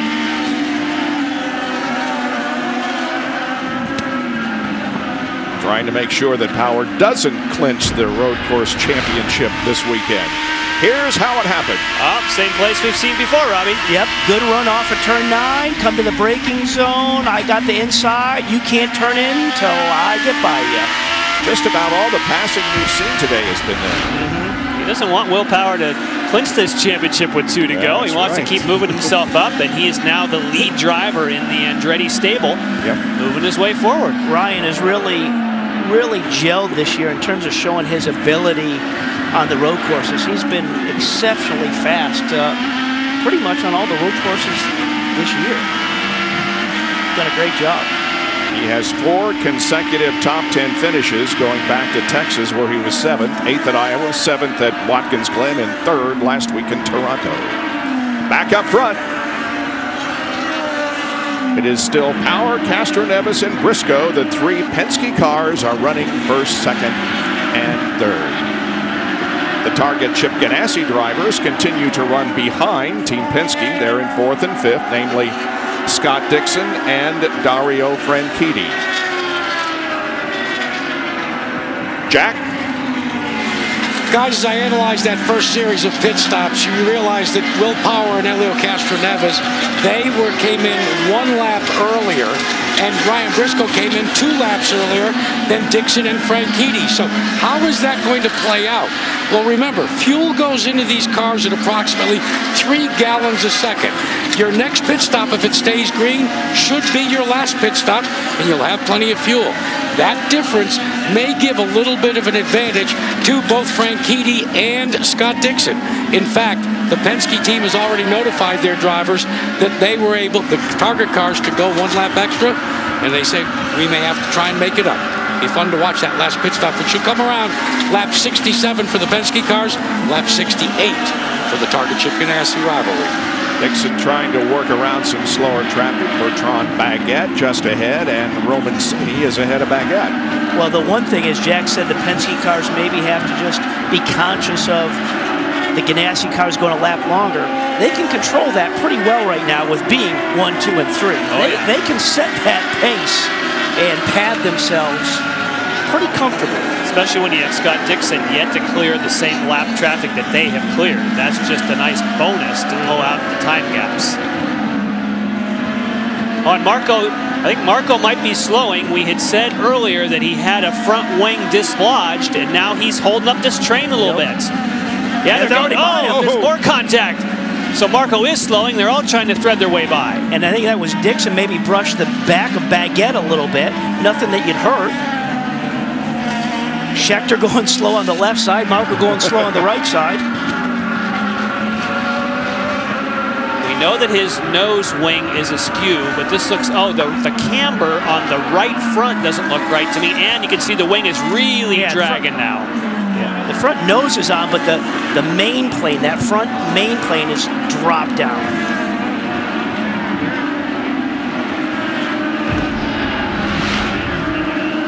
Here's where he started to slow. And there's a little bit of contact there between Baguette.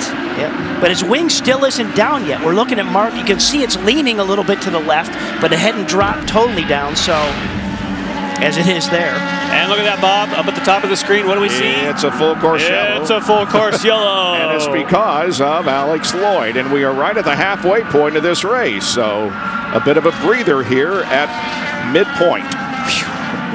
We needed that because that's going to bunch him up and get some more. That's right. Get some more action. Then all of a sudden, So it's any- not driving for fuel. It's driving for I was going to say, so any fuel concerns there may have been for the Penske guys that went away. And the good news is it just brought everybody back together. And hopefully Marco Andretti has repaired things that he can get back into the race. I think that camber that I saw was because it's so interesting with no downforce in the front. The front was running high, and then it makes the camber look off. So it's Oh, just yeah? amazing if a front wing isn't doing what it's supposed to, how much that gets the car tipped.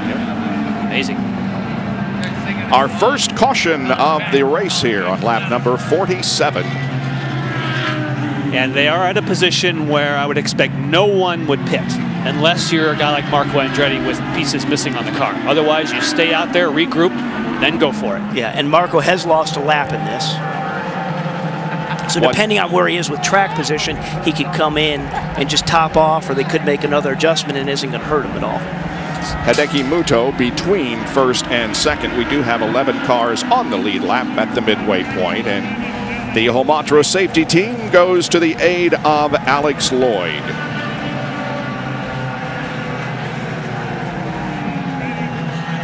Alex Lloyd's rookie year here at the uh, IZOD IndyCar Series. I just saw Justin Wilson go by, so obviously they've tried to fix again on his car. It just takes two rear shocks. Yeah, you got to keep going. Got to keep plugging away. Yeah. Eventually, you got to say, wait a minute, we don't know what's causing this, so you Well, figure it out. there's But a lot of curb hopping, a lot, you know, a ton of curb hopping. Yeah. And that would make sense if it's on the right side, the right rear, because that's Huh. that one big curb you hit. Uh, oh yeah, well, they're, they're laid out, I but don't is that just a? No, I would say That's just a practice for the guys going over the wall there, just to get their positions. Yep, you got them. I, I like it though because it got my attention because I just finished saying no one would pit. And That's I'm like, right. hey, what are you doing? The pits are open, and we'll now see. And the reason that you're saying that, Jan, is because even if you did come in right now, you still would have to make, Make another another stop. stop. no matter what. So now, why, why come in? Stay out till you get into your window to make just one more stop. It does work though. I've looked like four times over here. Do I sure I have the number right? I'm like, no, there's no reason why they would pit in my book unless they've got some really interesting strategy that I haven't figured out yet. Well, we'll see here in just a second because they're coming down the straightaway that will lead to the pit in. And no, no, no. Let's wait. Got to wait for target cars though. Let's see. No, good Nope. try. Okay, well, they got our attention. Now Vitor Meira, he's running Yeah, near the back, right. and same with Matos. Anybody who's down a lap, just go ahead and fill up. That's fine. Heck yeah. So Vitor Meira brings the AJ Foyt ABC Supply Company car in for a pit stop. He is down a lap, and so is Raphael Matos, and he too makes a pit stop. 49 laps completed here at Edmonton. Will Power leads his teammates Castroneves and Briscoe. Just over half distance, only 11 cars on the lead lap now, the last of which is Takuma Sato. Hoping to stay on the lead lap, I'm sure, but this will make some difference. Our first caution of the afternoon. Not a good day for Dale Coyne Racing. Uh, we saw Milka Duno, she was out earlier on after her probationary period. Um, uh, looked to be uh, slightly unsuccessful. Alex Lloyd now the first to go out and causing this uh, full course caution. And uh, we have more people in trouble around the track. We're on board with Tony Kanaan. Um, Mike, at least it's given some of the teams a chance to bunch up. They're all on similar fuel strategies, so uh, an opportunity perhaps here for an opportunistic type move or two. Yeah, you know, especially on the on the restarts here, you can definitely try and pick up a few positions. Um, but yeah, I mean, it's always close. I mean, Simona, you know, she she's lost one position. You know, hopefully she doesn't lose another one. She seems a little bit slow on this on this stint on the black tyres for whatever reason. So maybe her car's not as comfortable as it was in the reds. Got to use both reds and blacks, of course, during the course of today. Um, this has helped Ryan Hunter-Reay as well because he was a long way off. Uh, Ryan Hunter-Reay now is uh, in with half a chance of making a move. I think you'll find though, I mean, I think they got caught out a little bit there. I was just about Yeah. to say that Will Power's going to be thinking Elio Castroneves has got a chance of taking him, but you can see there's a lot of traffic in between, so uh, that kind of helped Will Power to keep his lead. That, of course, was a green flag. We are under green conditions again now, and as those opportunistic moves uh, prevail, we'll go back to the track and pick up with our commentators. We have just gone back to racing. well, power. And there's Hideki Mutoh moving over to allow Elio Castroneves to mm. So much for set the his bunching up on on the front. power already.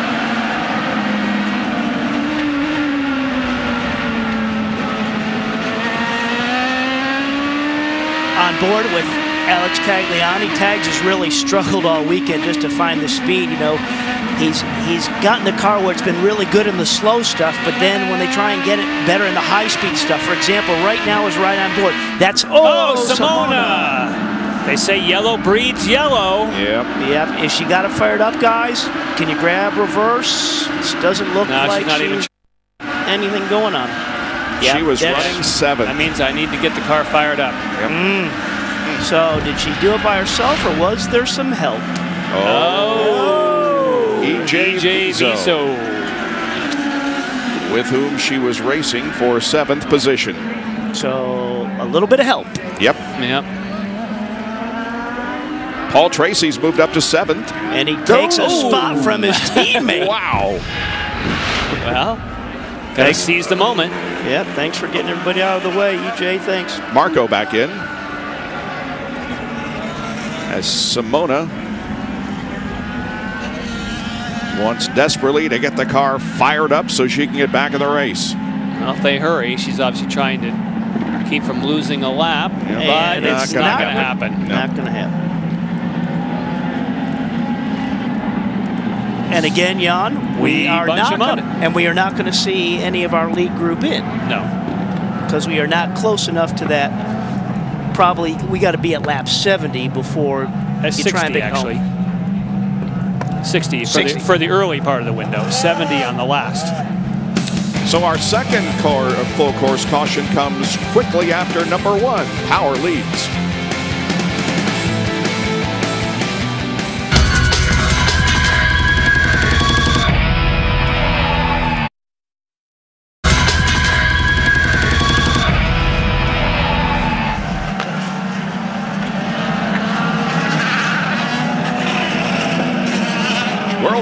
Cage Fighting as at Camp Versus this August. The bantamweight belt is on the line in a rematch of two of the most explosive fighters. Champion Dominick Cruz is set to make his first title defense against top contender Joseph Benavidez. World Extreme Cage Fighting live August 18th at 9 o'clock Eastern, all part of Camp Versus. Getting ready to go back to racing here at City Center Airport in Edmonton, Alberta. Will Power, Elio Castroneves, Ryan Briscoe, Scott Dixon, and Dario Franchitti are your top five. And now Ryan Hunter-Reay is running in sixth position. And uh, Simona Di Silvestro has gotten restarted. Lindy? Well, Bob, Will's team just told him, hey, Will, uh, they're giving us a warning. You went a little bit too fast on the last restart. All right then. So let's bunch him up there, Will. He's a pole sitter. He can set the pace. Yeah, but he had Hideki Mutoh behind him last Yeah. time. Now he's got Castroneves, so I think Castro Neves will be right there. Oh, look at how it backed it all the way up there with uh, KV cars. Whoa! And a Apex KV Brazil. car in the mail. Apex Brazil green flag comes out. Back to competition. And they squeeze down into turn one. Viso with a drive-through penalty. Ooh, we saw some Oh, some tire big time smoke. smoke. Oh! we got a Yellow, three-car green, crash. yellow again. Looks like it's Tagliani. Romancini and Tagliani. And so that was Viso that bailed off at the start Yep. and went down to serve his penalty. Right. Ugh. That was smart because you can only do a drive through under green. So he waited for him to say green, green, green, then ducked off into the pit. So that would have counted. Now you have a yellow and you pick up the space. Mm-hmm. Very That's good. pretty nice. Yep. There was definitely some chaos back in the field there on that When he w- peeled off to the pits, I was like, what's going on here? Danica Patrick gets up the inside of Baguette, and then there was contact.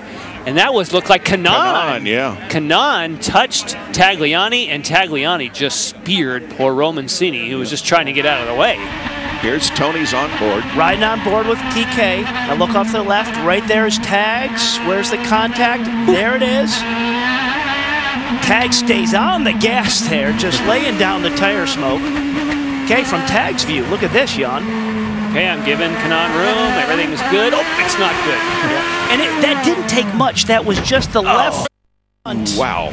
Ugh. Roman seemed just nowhere to go on that, but it was just just a little contact from the left front of Kanaan to the right rear of tags. It doesn't take that much. And look at the nice rubber pavement. Yeah, he tried to do a donut. He tried to do a 100 mile an hour donut and keep the thing going, Right. but unfortunately, it drove him right into Romancini. Yeah, yeah, he was watching the drifters out on the track earlier in the day. So the question is, is there damage on Kanaan's car? I doubt it. It was pretty light. Yeah. yeah. There certainly is on Romancini and Tagliani. So Viso is a big benefactor in that whole deal Ah, of there serving is. his penalty. It has done a little bit of grinding on that left front wheel. And you can certainly see the reciprocating wheel mark on the side of Mr. Tagliani's machine there. Right on the B of the Bowers and Wilkins, the Yeah. smaller one. Right, At least he didn't up right rub on off the sponsorship. So one of the Canadian drivers is out of competition, but the other one, Paul Tracy, is running seventh. There are 10 cars on the lead lap. On lap number 54 at Edmonton, Alberta. Our third caution of the afternoon then, lap 54, when uh, Tony Kanaan trying to make his way through and taking that opportunistic move, tagged Tagliani, and we ended up with this particular manoeuvre. Um, Mike, I mean, he's been trying all day uh, to make up ground, TK, but uh, that time Tagliani was again taken out. But the last collection there from Romancini is uh, what finished it all off. Yeah, I mean, Romancini was an innocent victim there. He just um, just got caught up in, uh, in that mess. But yeah, I mean, Tag was going for a move around the outside, and TK just clipped his rear wheel and spun him around. TK then uh, unscathed and got away with that. But uh, Johnny, uh, you've got to say that uh, Tagliani did keep his foot in it to try and turn it right the way around. If he hadn't kept his foot in it, he might have got away with that. But uh, yeah, I, I agree. It was very unfortunate for Romancini. So Tagliani out again. At least he doesn't have to blame Thomas Scheckter this week. They'll be tweeting. Lap 56 of 95 then. This is our third caution of the afternoon. Still, it is the Verizon Penske out front. Will Power without a foot wrong around this racetrack, Johnny. So far, I mean, I mean, Elio Castroneves was right behind him then with no lapped cars in between them, and uh, Will Power did a very good job. Obviously, uh, we heard that he'd been warned by race control, and he backed them up and then let loose and really got the jump on Elio. Somebody that uh, you brought to our attention a little earlier on making good progress, Paul Tracy up to seventh. Yes, I mean, he was quick in all the practice sessions, and the way that the groups worked out, he was actually in the wrong group. He's in a very strong group and didn't make the sort of uh, fastest 12, let alone the fastest six. But uh, he, he's uh, he's on he's very uncompromising. So if he makes it to the end, he'll have a good result. I think there's a code there somewhere, Mike, for uh, what we might be seeing from Paul Tracy a little bit on. Certainly doesn't look like a man to be messed with anyway. And uh, this being a home round for him, he's going to be keen to do well, isn't he? Yeah, of course. You know, he's uh, always pushes really hard, Paul, and uh, it's good that he's come through to uh, further up. Let's go back to the track then and rejoin our colleagues. To the Honda Edmonton Indy at City Center Airport, Edmonton, Alberta. Under another full course caution, Will Power with the lead over Elio Castroneves, Ryan Briscoe, Scott, Scott Dixon, and Dario Franchitti. Jack? You're down here in the Izod Performance Pit Center. I want to show you the track is so rough. I tried to come up with a way to help you understand it. Let's go back to the old washboard, right? Let's take my little toy car here Dario Franchitti. Basically, Robbie Buhl and Jan Beekhuis, you can identify with this. It'd be like trying to roll right across this washboard. Dario Franchitti told me not only is it that rough, he said, Jack, take your little toy car and take it all the way up to this big lip right here. He said, when you get the curves, it'll launch the car right off the racetrack. We've already seen that with Paul Tracy, haven't we, boys? What I want to know is, Jack, where in the world did you get that washboard? I didn't even know they made those things. Or is that the way same you do place your I laundry? got the kazoo. no, that's the same place where I got my toy kazoo. We'll have oh, that next week, okay? Oh, I can't wait. And Jan's asking me if he can have that toy model of Franchitti's if you get to keep it. Danica Patrick getting another nose, and Nose. wing.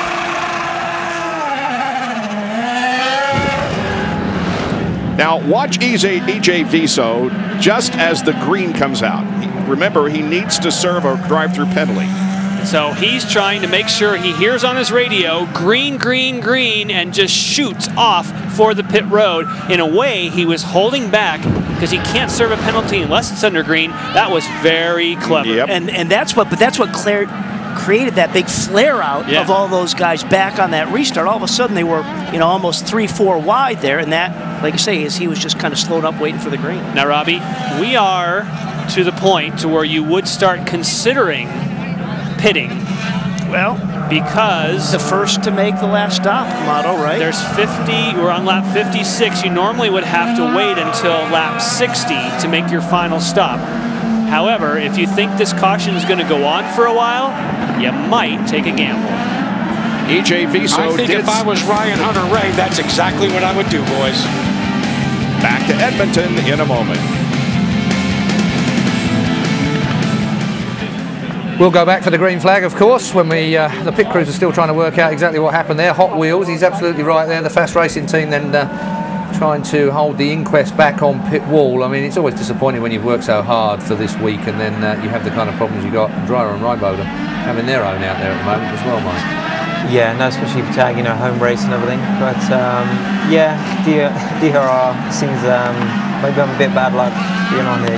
they seem to be having a tough time ever since uh, the last couple of rounds. So um, yeah, tough day for them. Hopefully uh, they can get something out of it anyway. Uh, a lot of people have uh, written into us. I mean, when are you back? When you're back in the car officially? Well, I'm hoping I'm going to be back, you know, kind of September time. Um, I don't think I'll be in for Sonoma. I would have liked to have been, but um, you know, it's going to take time. Hildebrand driving it? Uh, yeah, he's in for um, you know Mid Ohio and Sonoma for definite, and um, they were going to try and run three cars if possible, but uh, but yeah, hopefully um, hopefully September. Well, you look fit, but um, back in your own time, you might be right. They'll get over this hump of bad luck at the moment, and you'll slot back in there just nicely for when everything's uh, hunky dory back at Dreyer and Reinbold and everything's going according to plan.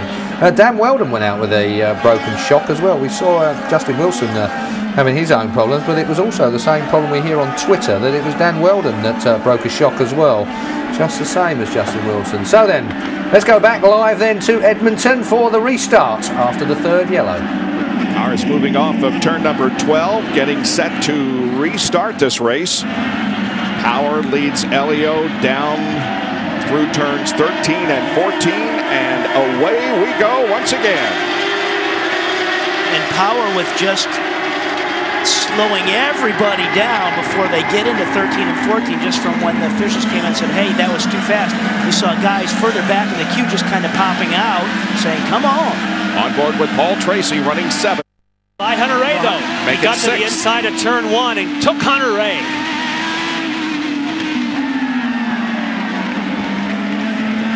Now he's past Kanaan, but that's not for position. But he's given himself a good cushion to this guy right here who are on board with Hunter-Reay of coming right back at him. Now remember, Paul Tracy had front wing damage, but he's since made a pit stop. If you have a broken front wing, you can add front wing into it and get it rebalanced.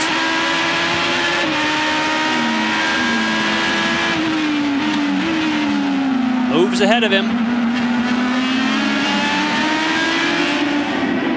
Now just ahead of him is Franchitti And that was Briscoe and he Dixon. got by him. And Franchitti's all over the. Oh, Franchitti had to check up a little bit on Briscoe there. Briscoe has lost a spot. As we were on board with Tracy, you could see a move up front. Look at that. Tracy wanted to make the move. He was trying to get everything he could. There's another set him up move on Briscoe. Briscoe's lost another spot. So that is Briscoe right in front of Tracy, and that is for the fourth spot. Briscoe running in P4 right now. So both Dixon and Franchitti have now got by Briscoe.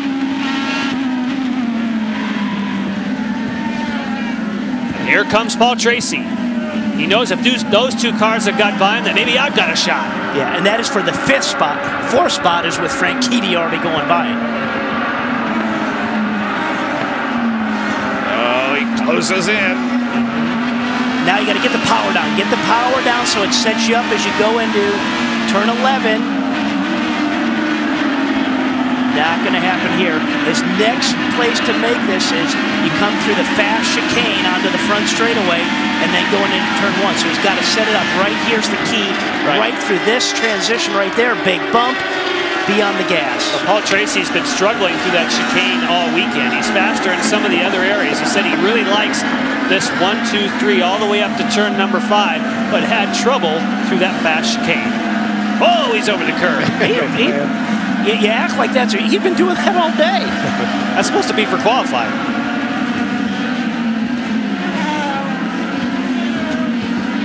Let's get down to Robbie Floyd with a report on Alex Tagliani. Tags worked his way almost up into the top 10 and what happened from the driver's perspective. Ah, no, just uh, you know, an unfortunate incident, you know, for the Bowers and Wilkins uh, Hot Wheels car. Um, I think uh, our first stint was a good stint. We went long as uh, saving fuel, and uh, you know, we're doing the best thing we uh, with what we had, and uh, I think we could have finished in the top 10 today. Just uh, unfortunate incident uh, in turn one. Car was a lot better. You'd already made up six position. Yeah, it was a lot better. The guys did a good job, and um, you know, from where we started, uh, finishing in the top 10 was going to be a good thing.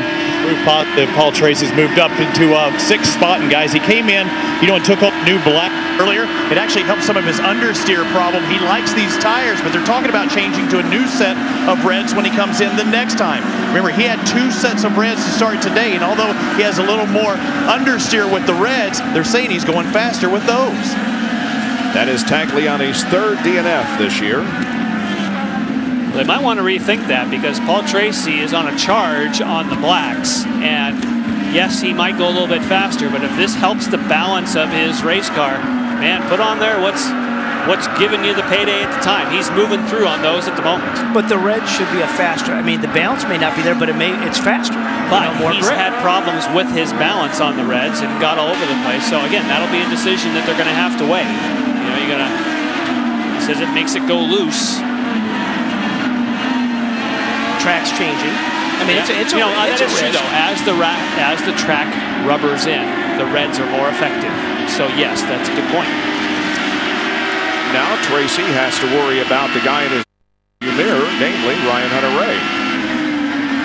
Well, he passed right off that restart. Then he had a car in between him that gave a little cushion. Now Ryan Hunter-Reay's got him in his sights. And Takuma Sato running 10th is in for a pit stop. Now, the reason you make a pit stop now is if, if there is a caution between now and when the leaders do, you effectively get a free pass to the front. So this would be his last stop. The window is open. This is kind of a gamble. You do this if you're looking for a little bit of good fortune. Again, if a caution happens now, between now and when the leaders pit, you go right up to the front. But it's not an issue for him at this lap 63. He can get all the way to the end. Yeah. So pretty good call, I think. And he is on the red Firestone red sidewalls, a little softer tire.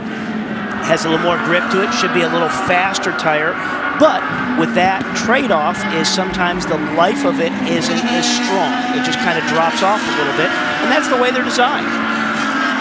Sato's best finish this year at Watkins Glen started fifth, finished 15th. Meanwhile, back up front, Power with about a second and a half advantage over Elio Castroneves. This is not a statistic that Will Power wants to hear, but in the previous five races here at Edmonton, the leader at halfway has gone on to win the race only one time.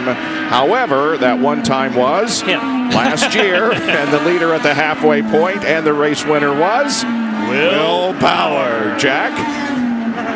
Guys, you look at the pit strategy, it makes sense what Sato did because he was running towards the back of the pack. My projections are that you're going to see the leaders come in between lap 73 and 74. That means that they don't have to take a full load of fuel to go the full distance. You have to take about three quarters of a load. So you got to time it. And guys, remember, three gallons a second. So now you're going to have to get your fueling done almost at about the same time you change your tires. If you hit the sweet spot, you might be able to go to victory lane. Be fun to watch, won't it? It will, Jack. And that's what you, when you're deciding on when you pit, you always factor in all those factors of fuel and tires. 30 laps to go here at City Center Raceway in Edmonton, Alberta.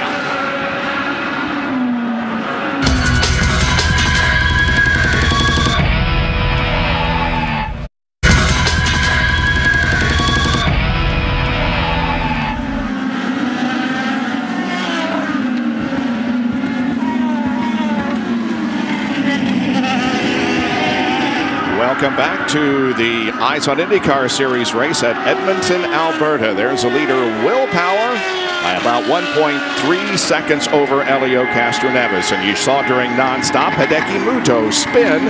However, he was able to get the car going again, and so we stay green. He is currently running in 18th position a lap down. We've only got 10 cars on the lead lap.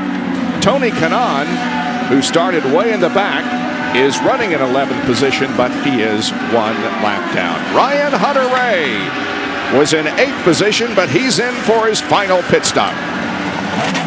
And Jack has talked about the fuel timing and the tires, and they still have to wait a little bit for fuel. So the, the pit stops that are made later, just like Jack was talking about, then it'll be more simultaneous. The fact that the fuel will finish about the same time as the tires. The pit stops will get shorter and shorter the less distance to the end of the race. And the numbers will look at that. That was about 7.6 seconds there. When you get shorter and shorter, you're going to be looking at about five second stops in the box, Jack. But Jan, you, and, and Robbie, you got to like that call by the by the Izod team because they weren't fast enough to run with the Penske or the Ganassi cars, and I had projected the fact that maybe they should be the first to pit because we count backwards, they'll be right there, and they might they might get themselves in a position where they could at least gain a few spots. I Absolutely agree with you, 100%, no question. Now, it's worth mentioning that Ryan Hunter-Reay has not got himself up far enough to keep Will Power from clinching the championship if they were to finish now. So he's going to have to make a lot more headway to prevent Will Power from clinching. So this answers our question. You notice those sidewalls that were laid out there for Yeah. Paul Tracy? Those would be the Reds. Yes. So, and Robbie, you brought a very good point that the Reds are even more effective once the track gets rubbered in, so you'll live with a little imbalance. And Andy's only going to come in and probably have only about 25 more laps of running, not a full stint on yeah. the Reds. The Reds. That fall off a little bit towards the end, but that's okay. See if Tracy enters the pits right here. Now, typically, when you go from blacks to reds, there's a fairly big difference in the handling, as we've talked about. So look for a front wing change too. And he just was doing Got to add on that, Jan, guys. They were talking just like you were. They are going to have more understeer with those reds because more grip.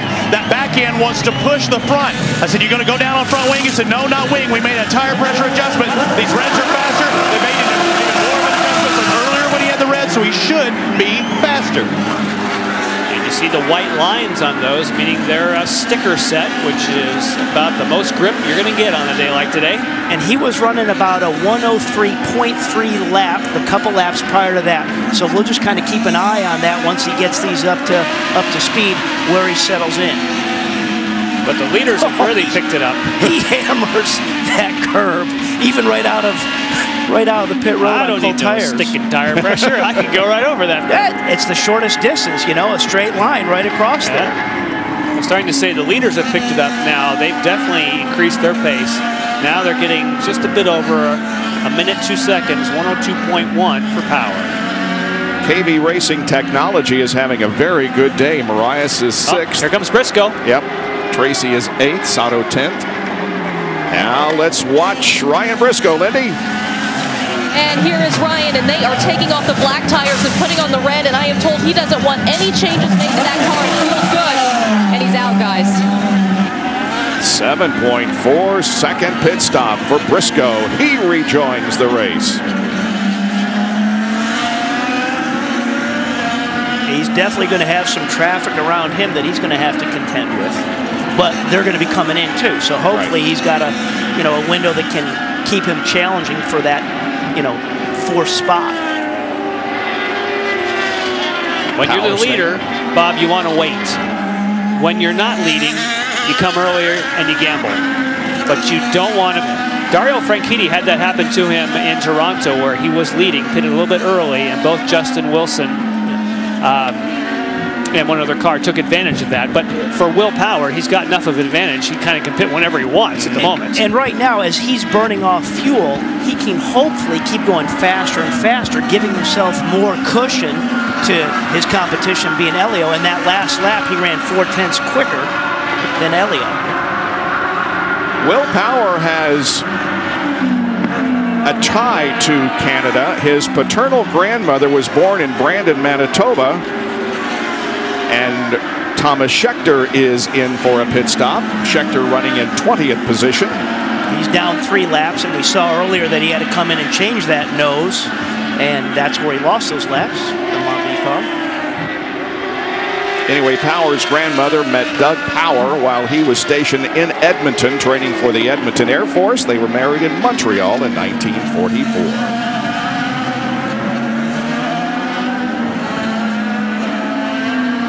Getting by EJ Viso, he now is a lap down in 10th position.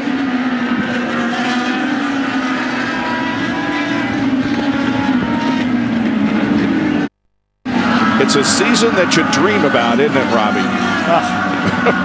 The Here's Moraes in. Moraes is in.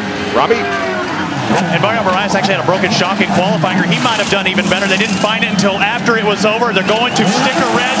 He was looking for more overall grip. In fact, he's going to get it with those new reds. Wheldon also is in. He's 21st. But to cap off what you said about Will Power, Yeah. Yeah, his speed is phenomenal. Yep. Absolutely. You know, and and his engineer Dave Faustino says he has ability to flick a switch and lay down a lap in qualifying like he's never seen. He just has that unique ability. obviously he's pretty good in the race too. This goes to show when you go out of the pits on new tires, before they get up to pressure and temperature, it is really slippery sledding for the first couple of corners. You have to really be on top of your game. Boy, the- I was just say, just watching Will Power's car there, and as you go across some of the undulation bumps on the runway of how smooth that car is. TK in for service, sticker reds. Boy, TK has had quite a drive this afternoon from that 24 starting position. He's running, running near the top 10 as Vitor Meira goes off course, local yellow only. Now, when Kanaan left and we looked off the back, you could see the leaders' pits. They were starting to set up. And ah, here he comes. Here he comes. And Jackie's headed toward you. As is all the leaders, in fact, behind the power is Elio Castroneves and then the two target chip Ganassi cars. The first one hit their marks, William Power. They will go to work taking out fuel. Let's see if they take a full one. Let's go to Lindy. Elio Castroneves gets red tires. No changes to the car, but a couple changes to his pit crew, Jack. Rick Rinaman is back. He's been with the team for 28 years. He's been in the shop all this year. Sean Hanrahan, who's been in his spot, he had hernia surgery. He's out. Rick's in. And then his outside rear, Eric Prentice. You saw Franchitti there. Eric Prentice, the outside rear, 13 years with Elio. This is his last race. He is going home to Pennsylvania. He says he wants to watch his kids grow up. And Bob, he says this race is bittersweet. Yeah, I can imagine. And Lindy, we did see a difference in strategy that Will Power has gone with the blacks. His teammate, as you called it, Elio Castroneves, has gone with the reds. So they are setting up to finish this with a different strategy. And I was watching the time clock on Power's car. You know, we said we thought he was going to be in the high five seconds. He had a 7.6 pit stop, but it ain't going to matter. He can take his time. He can do whatever he wants. and he can drive on blacks. Yep. So everybody up front has pitted, and uh, Will Power hangs on to the lead with a 2.8 second advantage on Elio Castroneves at Edmonton.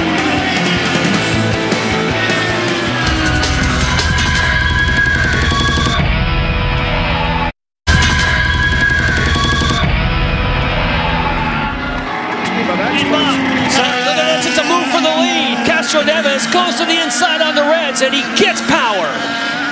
How about that? So you're thinking the Reds may be a good thing right now? Oh, yeah. now, that was partially because Will Power lost some momentum because of traffic, and Elio Castroneves pounced. That was nice. Hey, Jan. Sorry to jump on you there, but that, that was cool. Watch the daily Hey, guys, line remember at the the beginning. left. Guys, remember at the top of the show we talked about the push to pass, the overtake button? Well, that was the case. As you watch this replay of the run, Will Power failed to use the overtake button because he had used it earlier. That means the reset precluded him from being able to, being able to use it as a defensive weapon. Wow, how about that? Jan, are you going to Camp Versus this year? I'm, I'm in Camp Versus right now. Yeah, we all this are is Camp. Versus. We're, we're calling Camp Versus right now, Robbie. Look at him pull away, guys. Yeah, he's. That's what I was saying about the strategy. Prior to the pit stop, we were talking during the break that Castroneves had a lot of muscle, and then when they went on alternate strategies, and Robbie, you said earlier you thought the red tires were the way to go when the track rubber's in, and you were absolutely right. Well, and the, another guy that we were going to use as a gauge with that, because what prompted that discussion was Tracy. And I've been watching Tracy's time, and I, and I really haven't seen his speeds increase, but he's been in traffic, so I really haven't been able to weigh that out. Now that I've said that, oh no, it's still only a 104.5, so he's still slower on the reds than he was the blacks, but we'll keep an eye on it. Paul Tracy running sixth.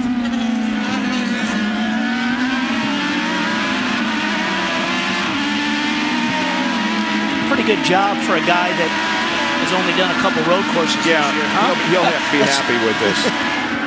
Yeah. Well, the, his last two years, he- he's been a you know a a fourth and sixth place finish. So, you know, with not running this series on a regular basis at this this type of level, pretty pretty impressive. Hey, now check this out. Power could be in trouble from Dixon because Right. Dixon has also gone with the Reds, and look at him close in on Will Power. And they've got to be thinking in Power's pit.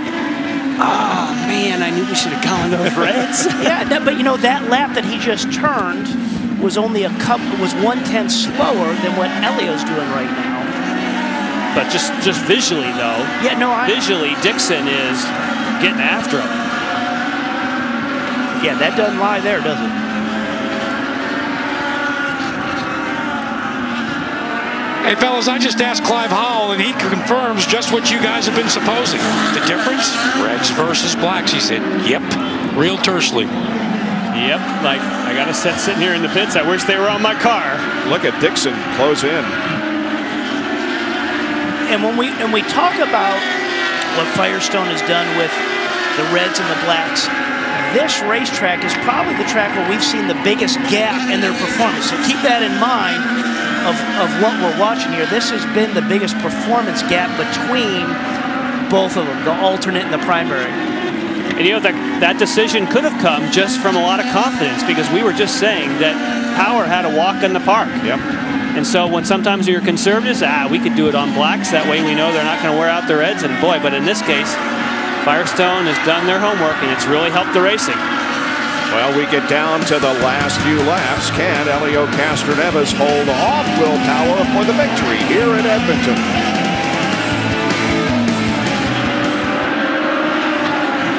So tyre wars have come into uh, operation here at the moment, and Elio Castroneves, his experience tells him he should have gone back out on reds, which he did. Uh, Will Power's team decided to go for blacks. Split strategy in Penske and uh, really paid off in the way for Elio Castroneves, Johnny. Yeah, having said that, the, the lap that Elio passed Will Power, Willpower did a 4.7, so he obviously got held up in traffic, and we're seeing the replay here. He just got to run under him. They, they were talking about using the push to pass, and obviously gave, they gave each other, that was good racing actually, they gave each other just enough room, so did very well there. I can understand what you're saying about being held up, but of course he's checked out since he actually got past Mike, so obviously the Reds work just that little bit better as far as Elio's uh, setup is concerned, perhaps. Yeah, I mean, he stretched out a little gap, but then I think Helio got held up behind Andretti, who's a bank marker, and now the gap's kind of come down between uh, less than a, a second, maybe. That's the so- man we've got to watch. The number nine car of Scott Dixon, of course. Uh, you've got your head down, buried in the monitor there, Johnny, at the moment. They're all lapping within a tenth of each other. I mean, it really is going to be a case of uh it sort of elasticating the gap between traffic. So I think at the moment, at the moment, it certainly appears that any one of Will Power, Elio Castroneves, or Scott Dixon could win this, and it's just going to come down to traffic. But Elio's obviously got the upper hand at the moment because he's leading.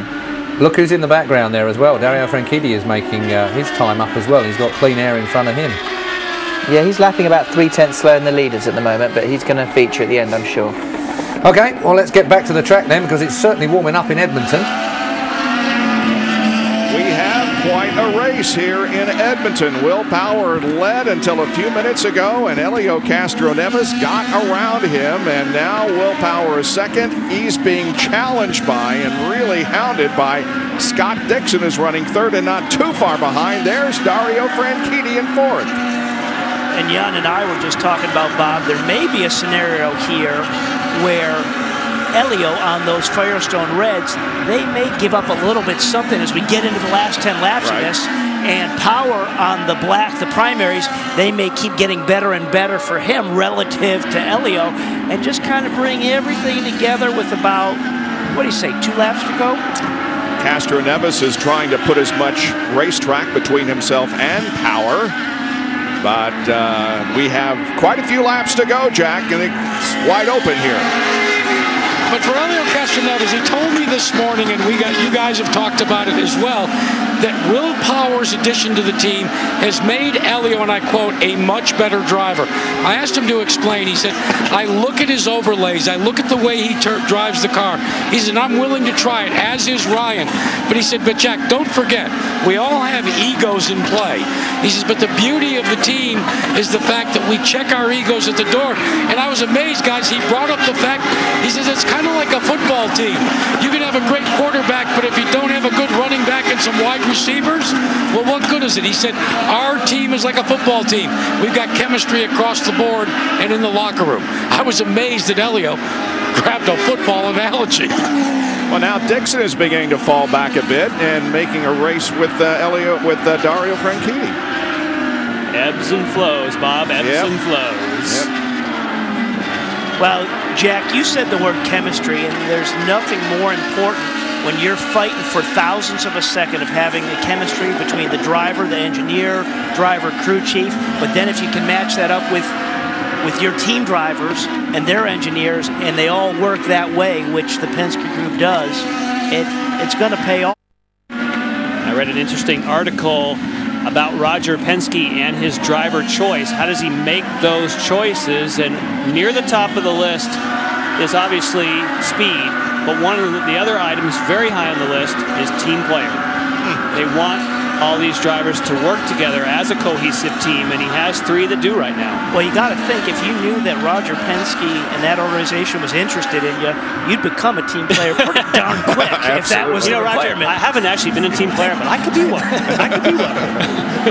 Elio passes Hideki Mutoh, puts a car between himself and Will.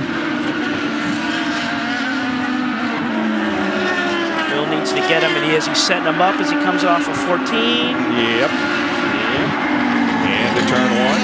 Now here comes Scott Dixon. Dixon's like, come on, I'm coming through. Give me some space. and that's a tough yeah, not a good place to catch uh, a driver you're no, to Because as, you get through two, three, four, five, six, seven here, you really can't make a good clean move until you come off of turn 9 and get to 10.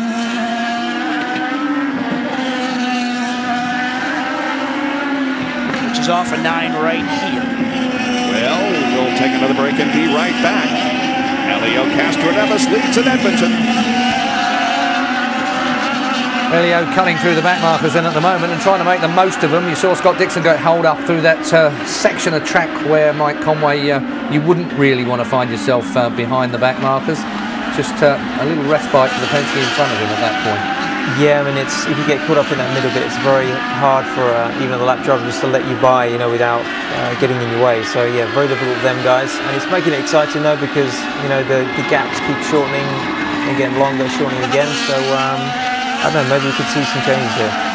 Okay, let's talk more about this tyre situation. I mean, the stint that they're on is slightly shorter than most of the ones that we've seen out today. And uh, at the end of the day, will the red tyres go off? Do they go off? Yeah, I think they'll be okay because it's a shorter stint and the tracks, you know, gripping up as the race has gone on. I think they'll be okay, and I think Will was pretty happy with the balance he had on the black tyres and thought it would be enough. But um, you know, as you can see, uh, able to lap just at a tenth or two tenths a lap quicker. Work to do then for Will Power. Will it come back to him in time? Is the question. Nine laps to go at the moment. Uh, Dario and uh, Scott Dixon are the next two down in the two Ganassi cars. Uh, Dario looks uh, quite racy, Johnny. You've been checking that monitor. He's had some quick laps in there, but once they get into the back mark, it's a bit difficult to tell, isn't it? Really? Yeah, I mean, Elio Castroneves has actually got the fastest lap of the race at the moment with a 2.15, and uh, Dario's second fastest with a 2.19, and he only set that about three or four laps ago, if that. So he is he is uh, definitely in tune with it at the moment and pushing really hard. The one that's surprising me a little bit is Ryan Briscoe, because obviously bearing in mind he's also a Penske driver, he's dropped off a little bit, and he's uh, a good few seconds behind this sort of leading quartet. The three car is Elio Castroneves, the leading Penske car now. Will Power was the man who set the pace and led the most laps throughout the Honda Indy Edmonton race, but Power finds himself there in second place and dropping back into the clutches again of the Ganassi boys. It's going to be interesting to see if Power can hang on at the end of this race. Eight laps to go now. Looking through the running order at the top of your screen, Castroneves leads in car three. 12 of Will Power in second place. Scott Dixon still third, but closing in again with Frank Franchitti being dragged along as well. Ryan Briscoe is back there in fifth place, but seemingly uh, not able to do anything with it at the moment. Let's rejoin our colleagues then at trackside in Edmonton for the very latest. Welcome back to Edmonton, Alberta in the IZOD IndyCar Series. We're in the closing stages of this race here that's being led by Elio Castroneves, Team Penske. Will Power second, then Dixon, Franchitti, and Ryan Briscoe. Paul Tracy is the best in class, uh, not including the Team Penske and uh, Target Chip Ganassi drivers. Ryan Hunter-Reay is seventh, then Sato, Moraes, and EJ Viso running in 10th position. Seven laps to go for Elio. And that 8, 9, 10 position of Sato, Moraes, and Viso, all KV teammates along with Tracy. So pretty have- stout running for, yeah. for those guys. A good All four good cars in the top 10. Yeah. So there's the gap as we just saw Elio back to his Oh, and teammate. Simona's slowing. She was running an 11 spot despite the fact that uh, she caused one of the cautions.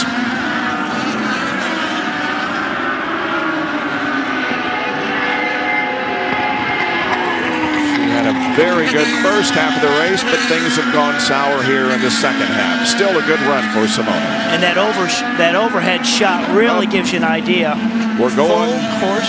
Yep, going full course. Caution, guys. This is going to be interesting. So that overhead view of that gap between Elio and Will, forget Forget about it. it. Forget Yep. about it. Yep. Forget about it. Forget about it. So Simona Di Silvestro is stalled on course, and so we will have another full course caution. Tim Cindric, first and second for Team Penske, and Mike Hull, well, he's looking at his target Chip Ganassi guys running third and fourth. And Cindric was pretty chatty there with his guy Elio. Did you notice there? He was just kind of chatting right away with it. This is going to get interesting here in the last few laps. We'll take a break and be right back for it.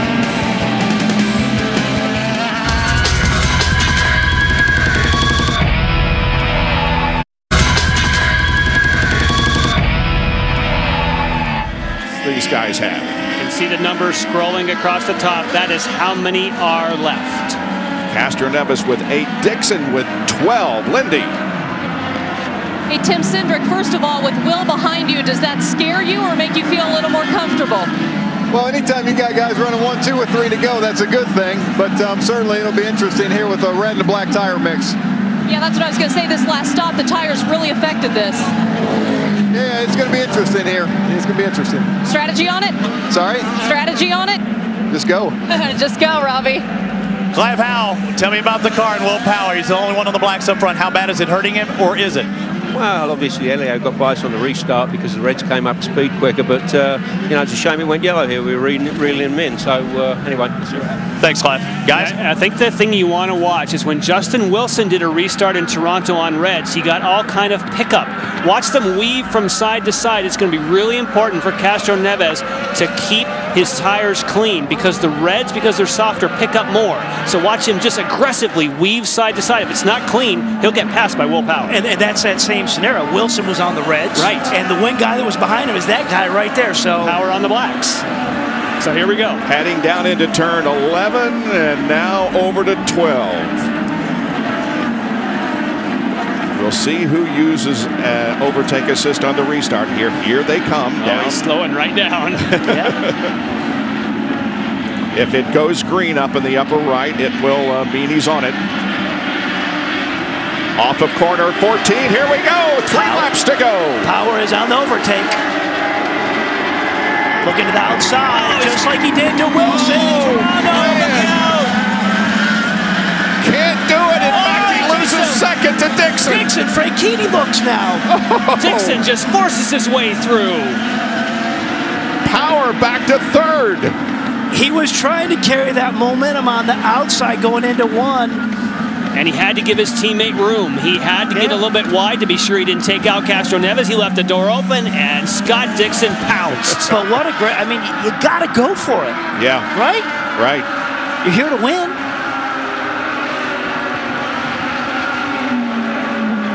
Power got on the overtake assist early, trying to get the jump. But here's what happened as they went into one. He's to the outside. And he's ahead of him right there, but he doesn't have the inside. Look at him slide. He starts to slide, and he can't pinch Castroneves Oh. anymore. And then, of course, Dixon just aggressively says, I'm coming through. Well, he saw he saw yeah he saw power up there just sliding around on the, the top side. Castroneves with a drive through for blocking. What? I don't. Where, uh, we got to see where that is, guys. Well, that has to be turn one. But I mean, when you're the when you're the leader, you can pick your lane. And here's Briscoe. Look at him putting the, the move on Tracy. and vice versa. How that Oh, was. that's They're going to. Wow.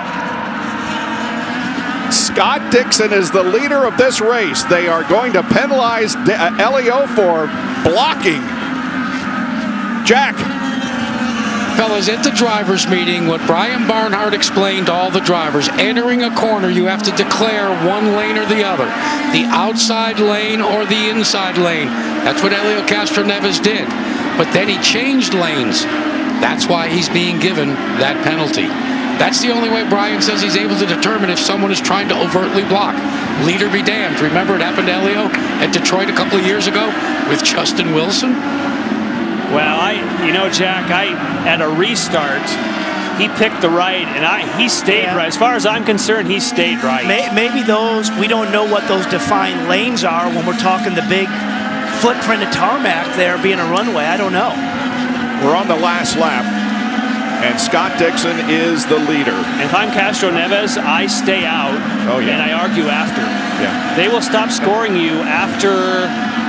I think it's two laps, so maybe he can get to the checkered before they stop scoring him, and then he can. Yeah, well, whatever. Right make now, he's, he's going to be coming to the checkered flag anyhow. I mean, he he still is leading because he hasn't served his penalty. I mean, they may take it away with another penalty, but he still is the leader physically on the track Well, until they yeah. stop until they stop scoring him.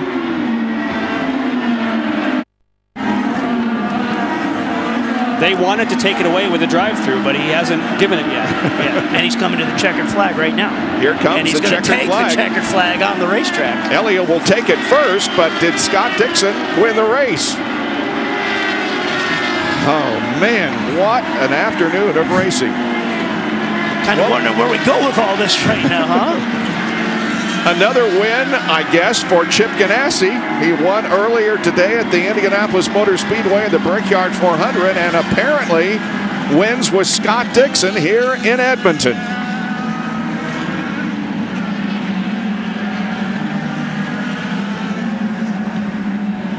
Robbie Floyd.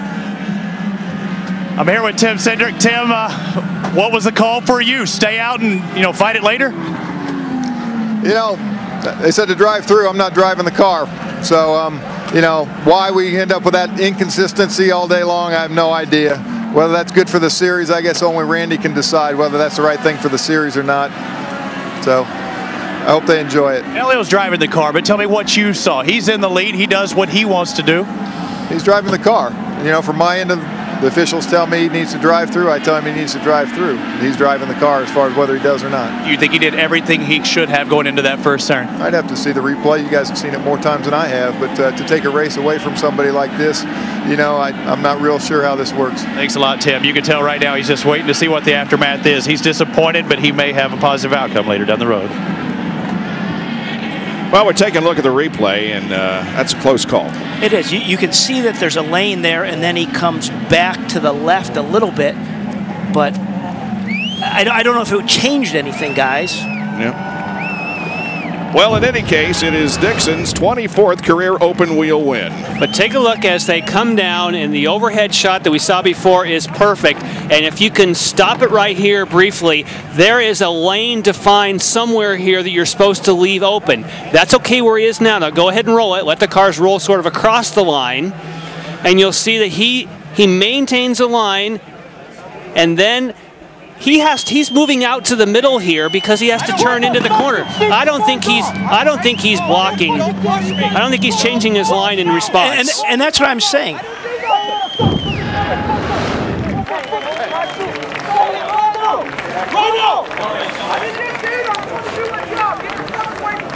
Don't often see Elio emotional like this and angry. That was Kevin Blanche that he was having words with. The reason he is upset is because he did not chop his teammate. He chose a line. Once Will Power swung out, he swung out a little more so he could turn into the corner. Now, if Brian Barnhart has defined a line you don't cross, that's got to be his call. Yeah, it, you're right, but I don't think it would. It wouldn't have affected that outcome either way. It wasn't. No. That and like I say, for Elio to be that upset about it, he doesn't think he did that at all. He wasn't intentionally doing anything to have that kind of mannerism right now. Right. Charles Burns, the one of the security people that worked for the IZOD IndyCar Series. Don't take on the security, guys. No. Charles, Charles is a was- former state trooper here in He was, he was very relaxed.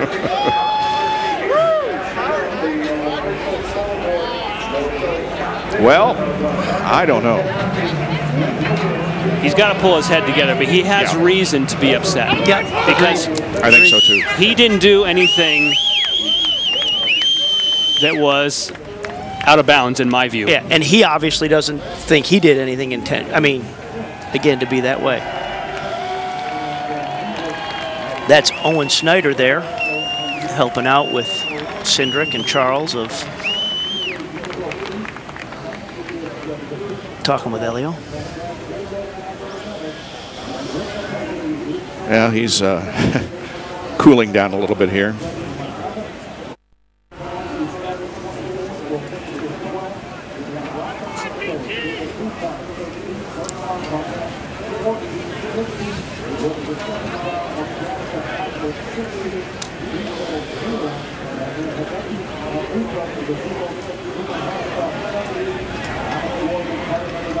Meanwhile, Scott Dixon sits in victory lane. with a Firestone hat in first place. And we go down to our Izod victory lane. Here's Jack Arute. Well, Scott Dixon, you saved the best for last. Tell me about that restart. Well, it was all on, and, and uh, specifically between the two Penskes, I definitely didn't think they were going to treat each other that way. And you know, offline here is so bad. And you know, Brian always says if, if you're blocking going into any of the corners, if you're on the right side, especially going into turn one, then you're going to get penalised. And uh, we get told every week, so you could definitely see something was going to happen there. But they got a lot of marbles on their tyres. We got a great run uh, with the target car. Just kept it in a typical line, and uh, you know, it was a tough day. We are extremely loose and and uh, fighting it non-stop. But uh, I can't believe we won. It's fantastic. Watching you guys go from the overhead down into that corner, you could see that you took the bait, saw everything that was going. Was there any doubt in your mind that could, you could make the target car grip on the inside? Uh, I didn't want to get in there. You know, offline here was so bad. You know, uh, there was so many marbles and everything, and, and even under uh, the yellows, you'd pick up so much debris on the tyres. So it made the first few laps so exciting, you know, for sure. But you know, for them getting away in the in the dirt right there, and then obviously trying to protect this line, you knew it was going to be uh, you know pretty slippery. So I was hoping to get both of them coming out of there, but just didn't quite have it. Let's face it, this was a situation where there was a lot of pressure on you this weekend to stay in the championship chase. You delivered, and now Target Chip Ganassi's hit for the weekend cycle with the Brickyard and here. It was fantastic. You know, it's great for Team Target and obviously for Chip. You know, winning both uh, you know the Cup to, uh, today and obviously uh, IndyCar. But you know, uh, we, we we finally got the monkey off our back. You know, we've had such dreadful races on the road courses. We've had the you know the quickness in the car, but just you know crashes or taken out and things like that. So just so happy and relieved for the team. I Want to let you in on a secret? It wasn't a monkey. It was a 12,000 pound gorilla. Congratulations, I think you're, you're very right there, man. Thank you. Thanks, Bob. And Scott Dixon's team, they win the Pit Performers of the Year, the Firestone Pit Performers of the Day, with a total time on pit lane of 58 seconds and 69 one hundredths. Well, Dixon, Power, Franchitti, Briscoe, and Hunter-Reay are your top five in Edmonton in a controversial finish. Dixon wins. Well, we're certainly pleased here for Scott Dixon. Great guy. Birthday last Thursday, 30 years old. Perfect thing for him to move up in the series. But do you understand it at home? Because beats me completely. Um, I have to say, I'm not a race driver, but he didn't look like he was blocking to me, Johnny Mowlem. Absolutely not. He wasn't. I mean, he moved over maybe five or six feet to actually give himself a slightly better line into the corner. Otherwise, he would have just gone straight off on the exit and into the wall on the outside. But as you can see here, he's coming down. He's got uh, Will Power directly behind him. Will Power then moves to overtake and goes quite wide. It wasn't like he was inching him over. At which point he moves out a little bit and then tries to get a line through the corner. But there's no way he blocks. The guy that's actually doing the, the judging on this should have some idea of racing driving. Otherwise, he wouldn't make such stupid decisions. That is always a problem that you have with many sports. Is the fact making the, the the man making the decisions isn't a guy that understands the decision he's making to some extent. I mean, it's almost to me brought a, a race into disrepute in as much so the organisers themselves, for sure, blocking shouldn't be allowed. Mike, you understand that. You've been in driver briefings before regarding this situation. I mean, how strict are they are, are they in a driver briefing at IndyCar? Um, we, they, they- they do tell you know what kind of the do's and don'ts on the weekends, but you know I've never actually seen anyone actually penalised for you know blocking because a lot of a lot of drivers do block and don't get in trouble for it, but there is you know that's a bit of 50-50 one. You know he's kind of on the inside, but he wasn't really you know forcing anybody you know in any direction. So it's I can't believe they've taken the win off of him. You know he deserved that. He raced really hard all day, and um, yeah, it's, he must be gutted. Better strategy for Elio to get him where he was. They went on the reds when Will went back out on the blacks. Well, it's racing, isn't it? It's supposed to be racing. If you stop someone even defending an inside line and, and he can't move like three foot in order to take a better line, not block anyone, Will Power was six, seven, ten feet wide of him. I mean, you take away the whole idea of motorsport. I mean, it's just absolutely crazy. Well, the man that benefited from this move more than any as we come back onto the straight again and look at it. Um, you know, the man on the in front, of course, is Elio Castroneves. He runs down the black line in the middle there. Uh, only when Will Power pulls out of the slipstream and moves wide of his own accord does Elio just reline himself up for the right-hander that's about to come to them. Will Power already makes this move. That's not because Elio's blocking. That's because that's where Will Power wants. Perhaps You he's see, looking for the cutback up the inside. if- Exactly. If, He Will goes wide. He moves six foot to give himself a line. Otherwise, at this point here, he misses the apex as it is. He'd be on the outside, and he gives Will plenty of room on the outside of the corner. I mean, he was a little gentleman with him. It was hard racing between teammates. He was never going to take them him out. And I, I actually personally was gobsmacked when they did him for blocking. Controversial finish. 2008, I think it was Scott Dixon won this race and went on to win the championship. He's a long way away from the back end of Will Power in the series at the moment, but Scott with a bit of momentum now, perhaps. Yeah, you know, as you say, got the monkey off his back now, and um, he's not won a, a road course race this year, so great, great uh, result for him there, and uh, hopefully that's a boost for the championship. Well, IndyCar returns to the United States for its next race, which comes from the Mid Ohio Sports Car Course in Lexington. Last year, Scott Dixon led for 51 of the 95 laps on his way to a convincing victory.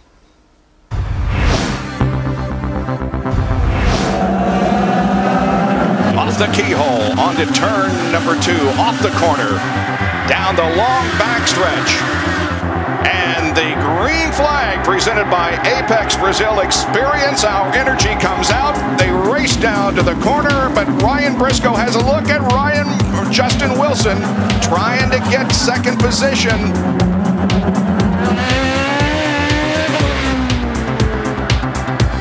Ryan Briscoe has not had the same kind of pace. And look at that nice clean racing.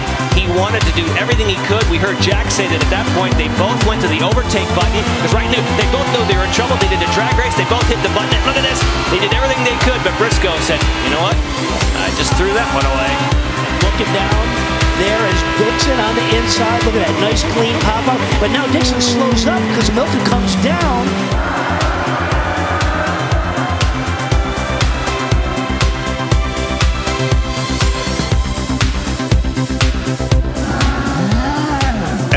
Castroneves off course in the gravel. Got it going. It is a full course caution, however, our first of the day.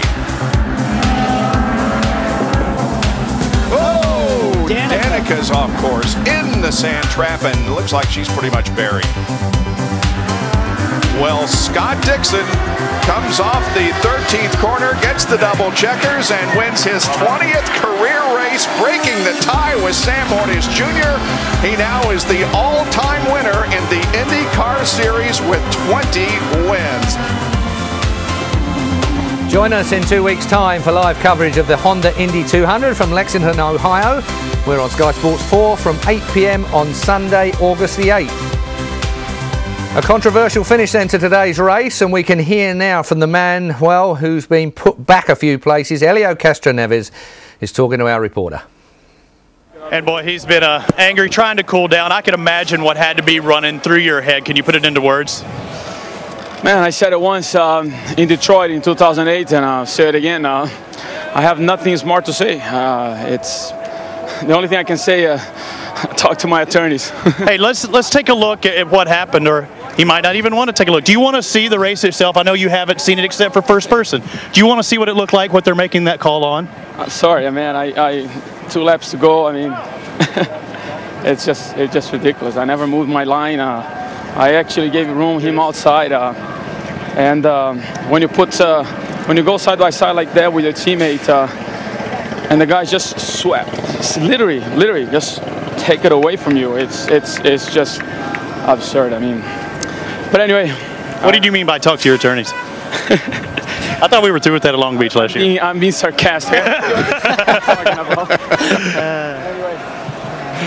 All right, buddy. Uh, You can tell Elio Castroneves, he, he can't even put it into words. He's still disgusted, hasn't talked to the officials, and he was in the air with a couple of officials, but you know they aren't the ones that made the decision. Brian Barnhart is.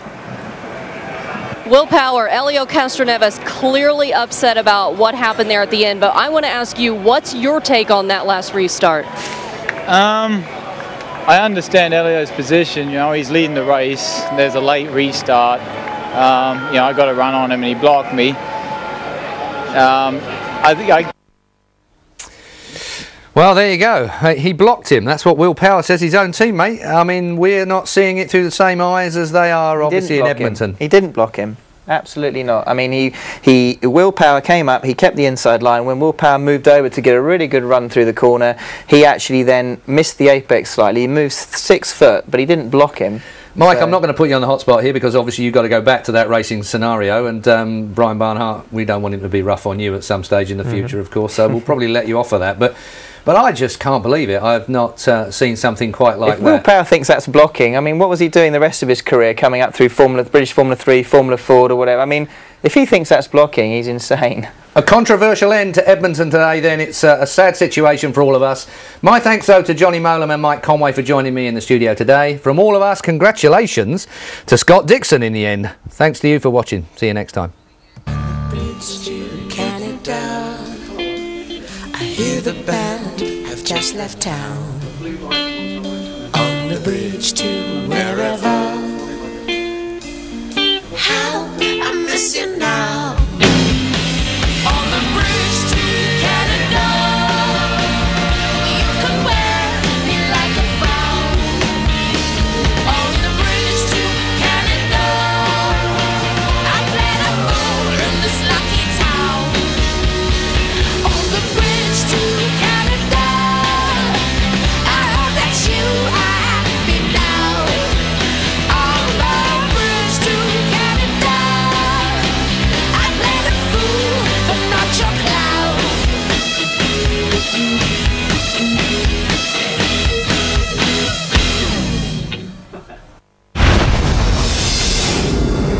More sport, news, views, and video highlights at skysports.com.